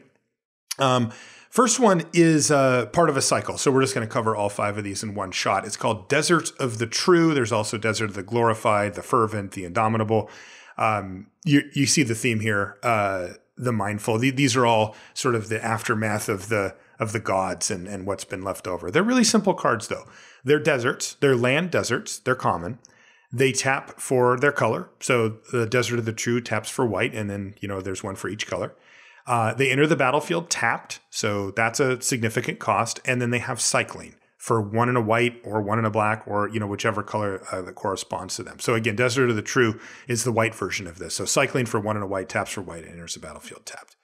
Um, look, the, these are probably the premium way to get the whole desert thing going, right? Because you can cycle them. They still have, you, you'll still have deserts working. You can just play them. They tap for mana. And yes, they do enter the battlefield tapped, which is a real cost, but it's not, you know, prohibitive. You can still play them. I would always play like the first two of these, and then once you have two, you're you're starting to The first two on color deserts. on color Yeah. yeah. Yeah. because I they agree. cost they cost on color to cycle. You can't play them off color. Um, Mhm, exactly. But once you have more than that, you start to actually pay a cost. But most decks can just easily play two enter the battlefield tap lands with just no drawback, essentially, or very minimal drawback. Can't Mhm. be no drawback. Because cycling is so powerful. When you draw this as your sixth land, you just get to cycle it. It's so powerful to do that. And remember, you know, you're meeting the desert requirement whether you cycle it or play it because it'll be in your graveyard or on the battlefield. So I, I would just say- think these cards are good, you know, and, and we talked about it when we went over uh, the cycle of uncommons that we'll go over next. You know, picking a land is a really good way to get ahead in draft because you're just simply playing more of the cards that you chose, uh, you know, versus somebody who didn't. So they're likely to be C pluses. I think so too. I think they're going to be good. Like, and, and I think if you have any of the Desert Matters cards, they're they're going to go up. Um, so yeah, take those. They're they're good cards. Uh, the next is a cycle that we covered on the podcast. We'll cover them here again um, for posterity, but they're um, all the same type of card. They're a desert, and there's one of each color, just like the others, except for these don't enter the battlefield tap. They actually enter the battlefield untapped, and they can tap for colorless, or they can tap for their color of mana, one for each color. Um, but you also have to pay a life if you do that. So uh, keep that in mind. Very low impact though on your mana base generally. The life matters, but it's not critical, and you don't. You know, you can use the colorless and a plains or whatever for this first one. It's called Shefet Dunes. It's the white version, and then they all have an activated ability that requires you to pay some mana, tap this thing, and then sacrifice a desert, which can be it or another one, and you'll get an, you'll get a, a- an effect. So, for example, Shefet Dunes is two white white, tap it and sacrifice a desert. And if you do, creatures you control get plus one plus one until end of turn, and you can only do it anytime you can cast a sorcery. This Ah, card, it's fine. it's fine. This is, I think, one of the weaker So- ones. Yes, but the opportunity cost is still very low. Because if you draw this in Exactly. a plains, you're not taking damage and this enters untapped. And if you take two damage off this, that's probably less impactful than when the times when you can just sack this to get an extra four damage through or five damage through. So Exactly. And remember, uh, the umbrella under which all of these live is that they are all deserts and therefore meet that requirement for cards in your deck that care about that, which is a big deal. and they Uh, combine well with the cycling deserts, where if you like had to play Mhm. Desert of the True earlier, this could eat it, give your creatures creatures plus plus one next turn, sack the Shefet Dunes. You got two turns of bonuses. So yeah, that's a big deal. I think these cards are all quite good. Even this one that's not super strong, I think is still pretty good. And if you are playing a tokens deck or a go wide deck, it's it's good. I mean, that's just a good card. basically they're all C pluses except for the blue one, Ipnu Rivulet, which I wouldn't play because Mhm. that's a blue and tap, blue one tap sack a desert. Target player puts the top four cards or here's your library into a graveyard. I don't think a desert mill deck is particularly realistic, though. You could try it. This one I'm a little less sure about. Yeah, I think you'd want two Ipnu rivulets and then as many other deserts as you get your hands on. And and so, and some of the blue commons that that mill, both uh, compelling argument and uh, seer of lost truths or whatever the whatever the the Seer blue of the Last Tomorrow, I think it's called. Yeah. So, but like Chef Shefet Dunes, uh, Desert of the Fervent, Ifnir Deadland, or sorry, Shefet Dunes, Ifnir Deadlands, uh, Ramunapa, Ramunap Ruins, Mhm. and uh, Hashep Oasis are all like C plus with the Deadlands actually being a B minus because that's Well, why don't you why don't you read that one? Because I mean, we, we- two yeah. black black tap sack a desert, put two minus one minus one cou- counters on target creature and opponent controls. and Oh, yeah. speed. That's the best So, one. yeah. That that I think is is a actually I think that's just a B. I, I, I do just- too. It's just a straight removal spell, like in and of itself. Let alone if you have other deserts. Yeah, with the red and the green ones, dealing two damage to your opponent and for red and giving a creature plus three plus three for green At sorcery are- speed. at sorcery speed. These are Yeah. both playables. Again, they're they're kind of like Shefet Dunes, the white one. They're all the really low opportunity cost. You should just play them in your deck, and they'll you know they'll, they'll give you an extra bonus some of the games. Yeah. Um, we've got a couple of or three more lands here. Uh, one of them is Crypt of the Eternals. It's uh, why don't you read that one? So it enters the battlefield and you gain a life. So it's Mhm. a land at uncommon. You taps for a colorless, or you can pay one and tap it and add blue, black, or red to your mana pool. So it's Grixis. Uh, but you're paying one to do that. So it's kind of it's basically a worse painted dunes for only Grixis colors, but it, it gains you a life when you play it. It is not a desert.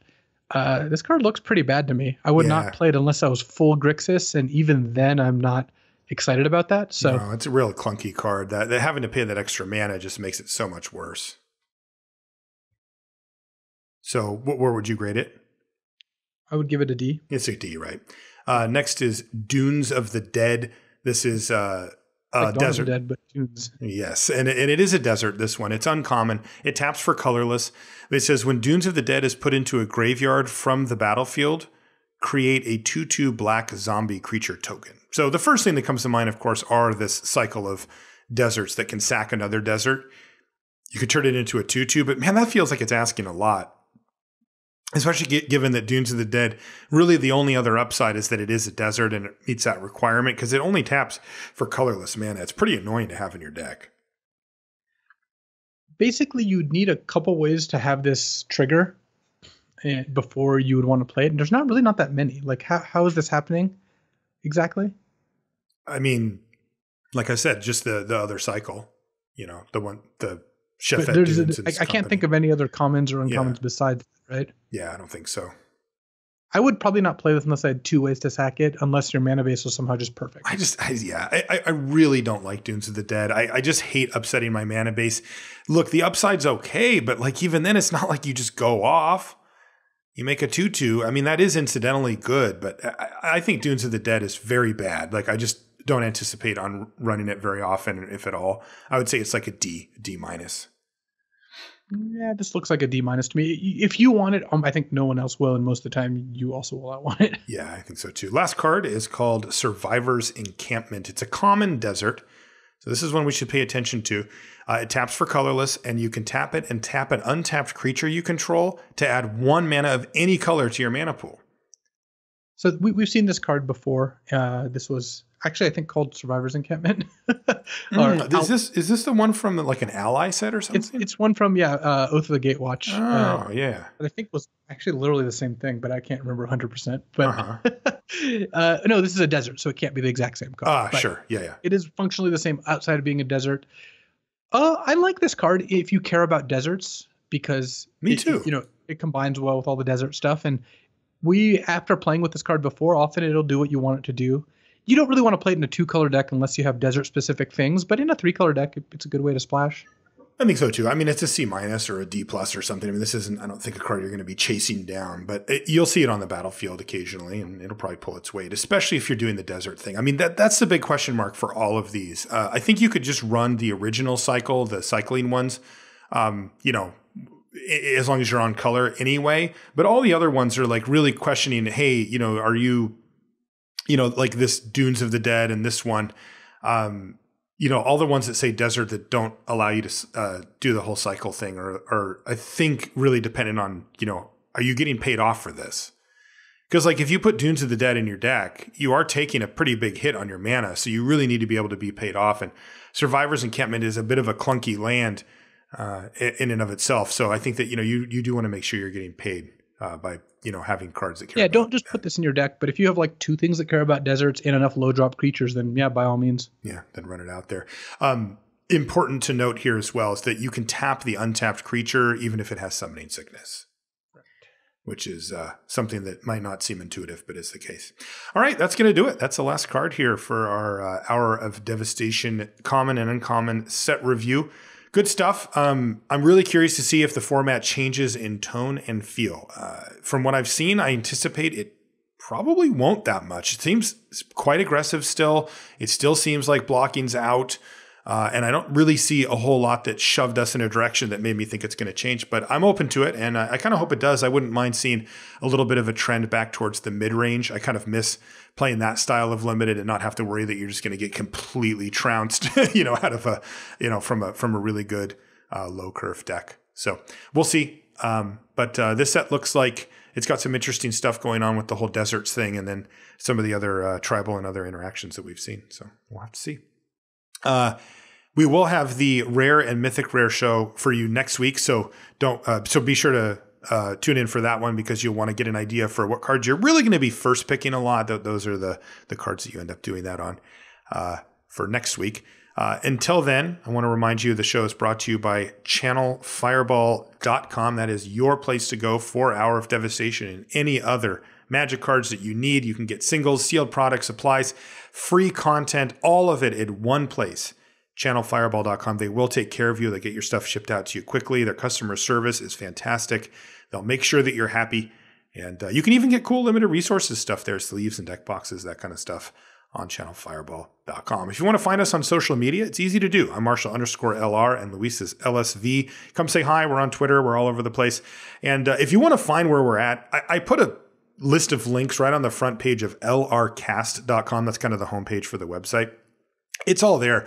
It just makes it the easiest for you to be able to find all the things we do. We have a YouTube channel, we have a Facebook page, uh, we have a subreddit, a very active, awesome subreddit full of people that are insightful that can help you out and and sort of reinforce a lot of the things that we talk about here on the show and uh, our streams and just blah blah blah. It goes on and on, and it's all right there on the front page of lrcast.com. Thank you so much for taking the time to hang out. We do appreciate it, and we will see you next week. So we're in the middle of a Hall of Fame voting season right now, and uh, I'm not going to go on about the Hall of Fame, but I do have a funny story about it from uh, years past. Uh, first of all, have you have you decided on your vote yet? I did. In fact, I sent it in today. Who are you voting for? Josh Utter-Leyton. That's a solid ballot. Uh, Mhm. Wrapter's great. He's he's been on the show before, uh, which is I think a qualification for being in the Hall of Fame. Indeed. Yeah. And it, it really, his resume just jumped out as the one that was just, you know, a no brainer. And everybody else I could really pick apart. So I said, you know what? I, I want people that are no brainers. I want, I, I want it to be like, that guy deserves in, you know, and so, Oh. and he was the one for me.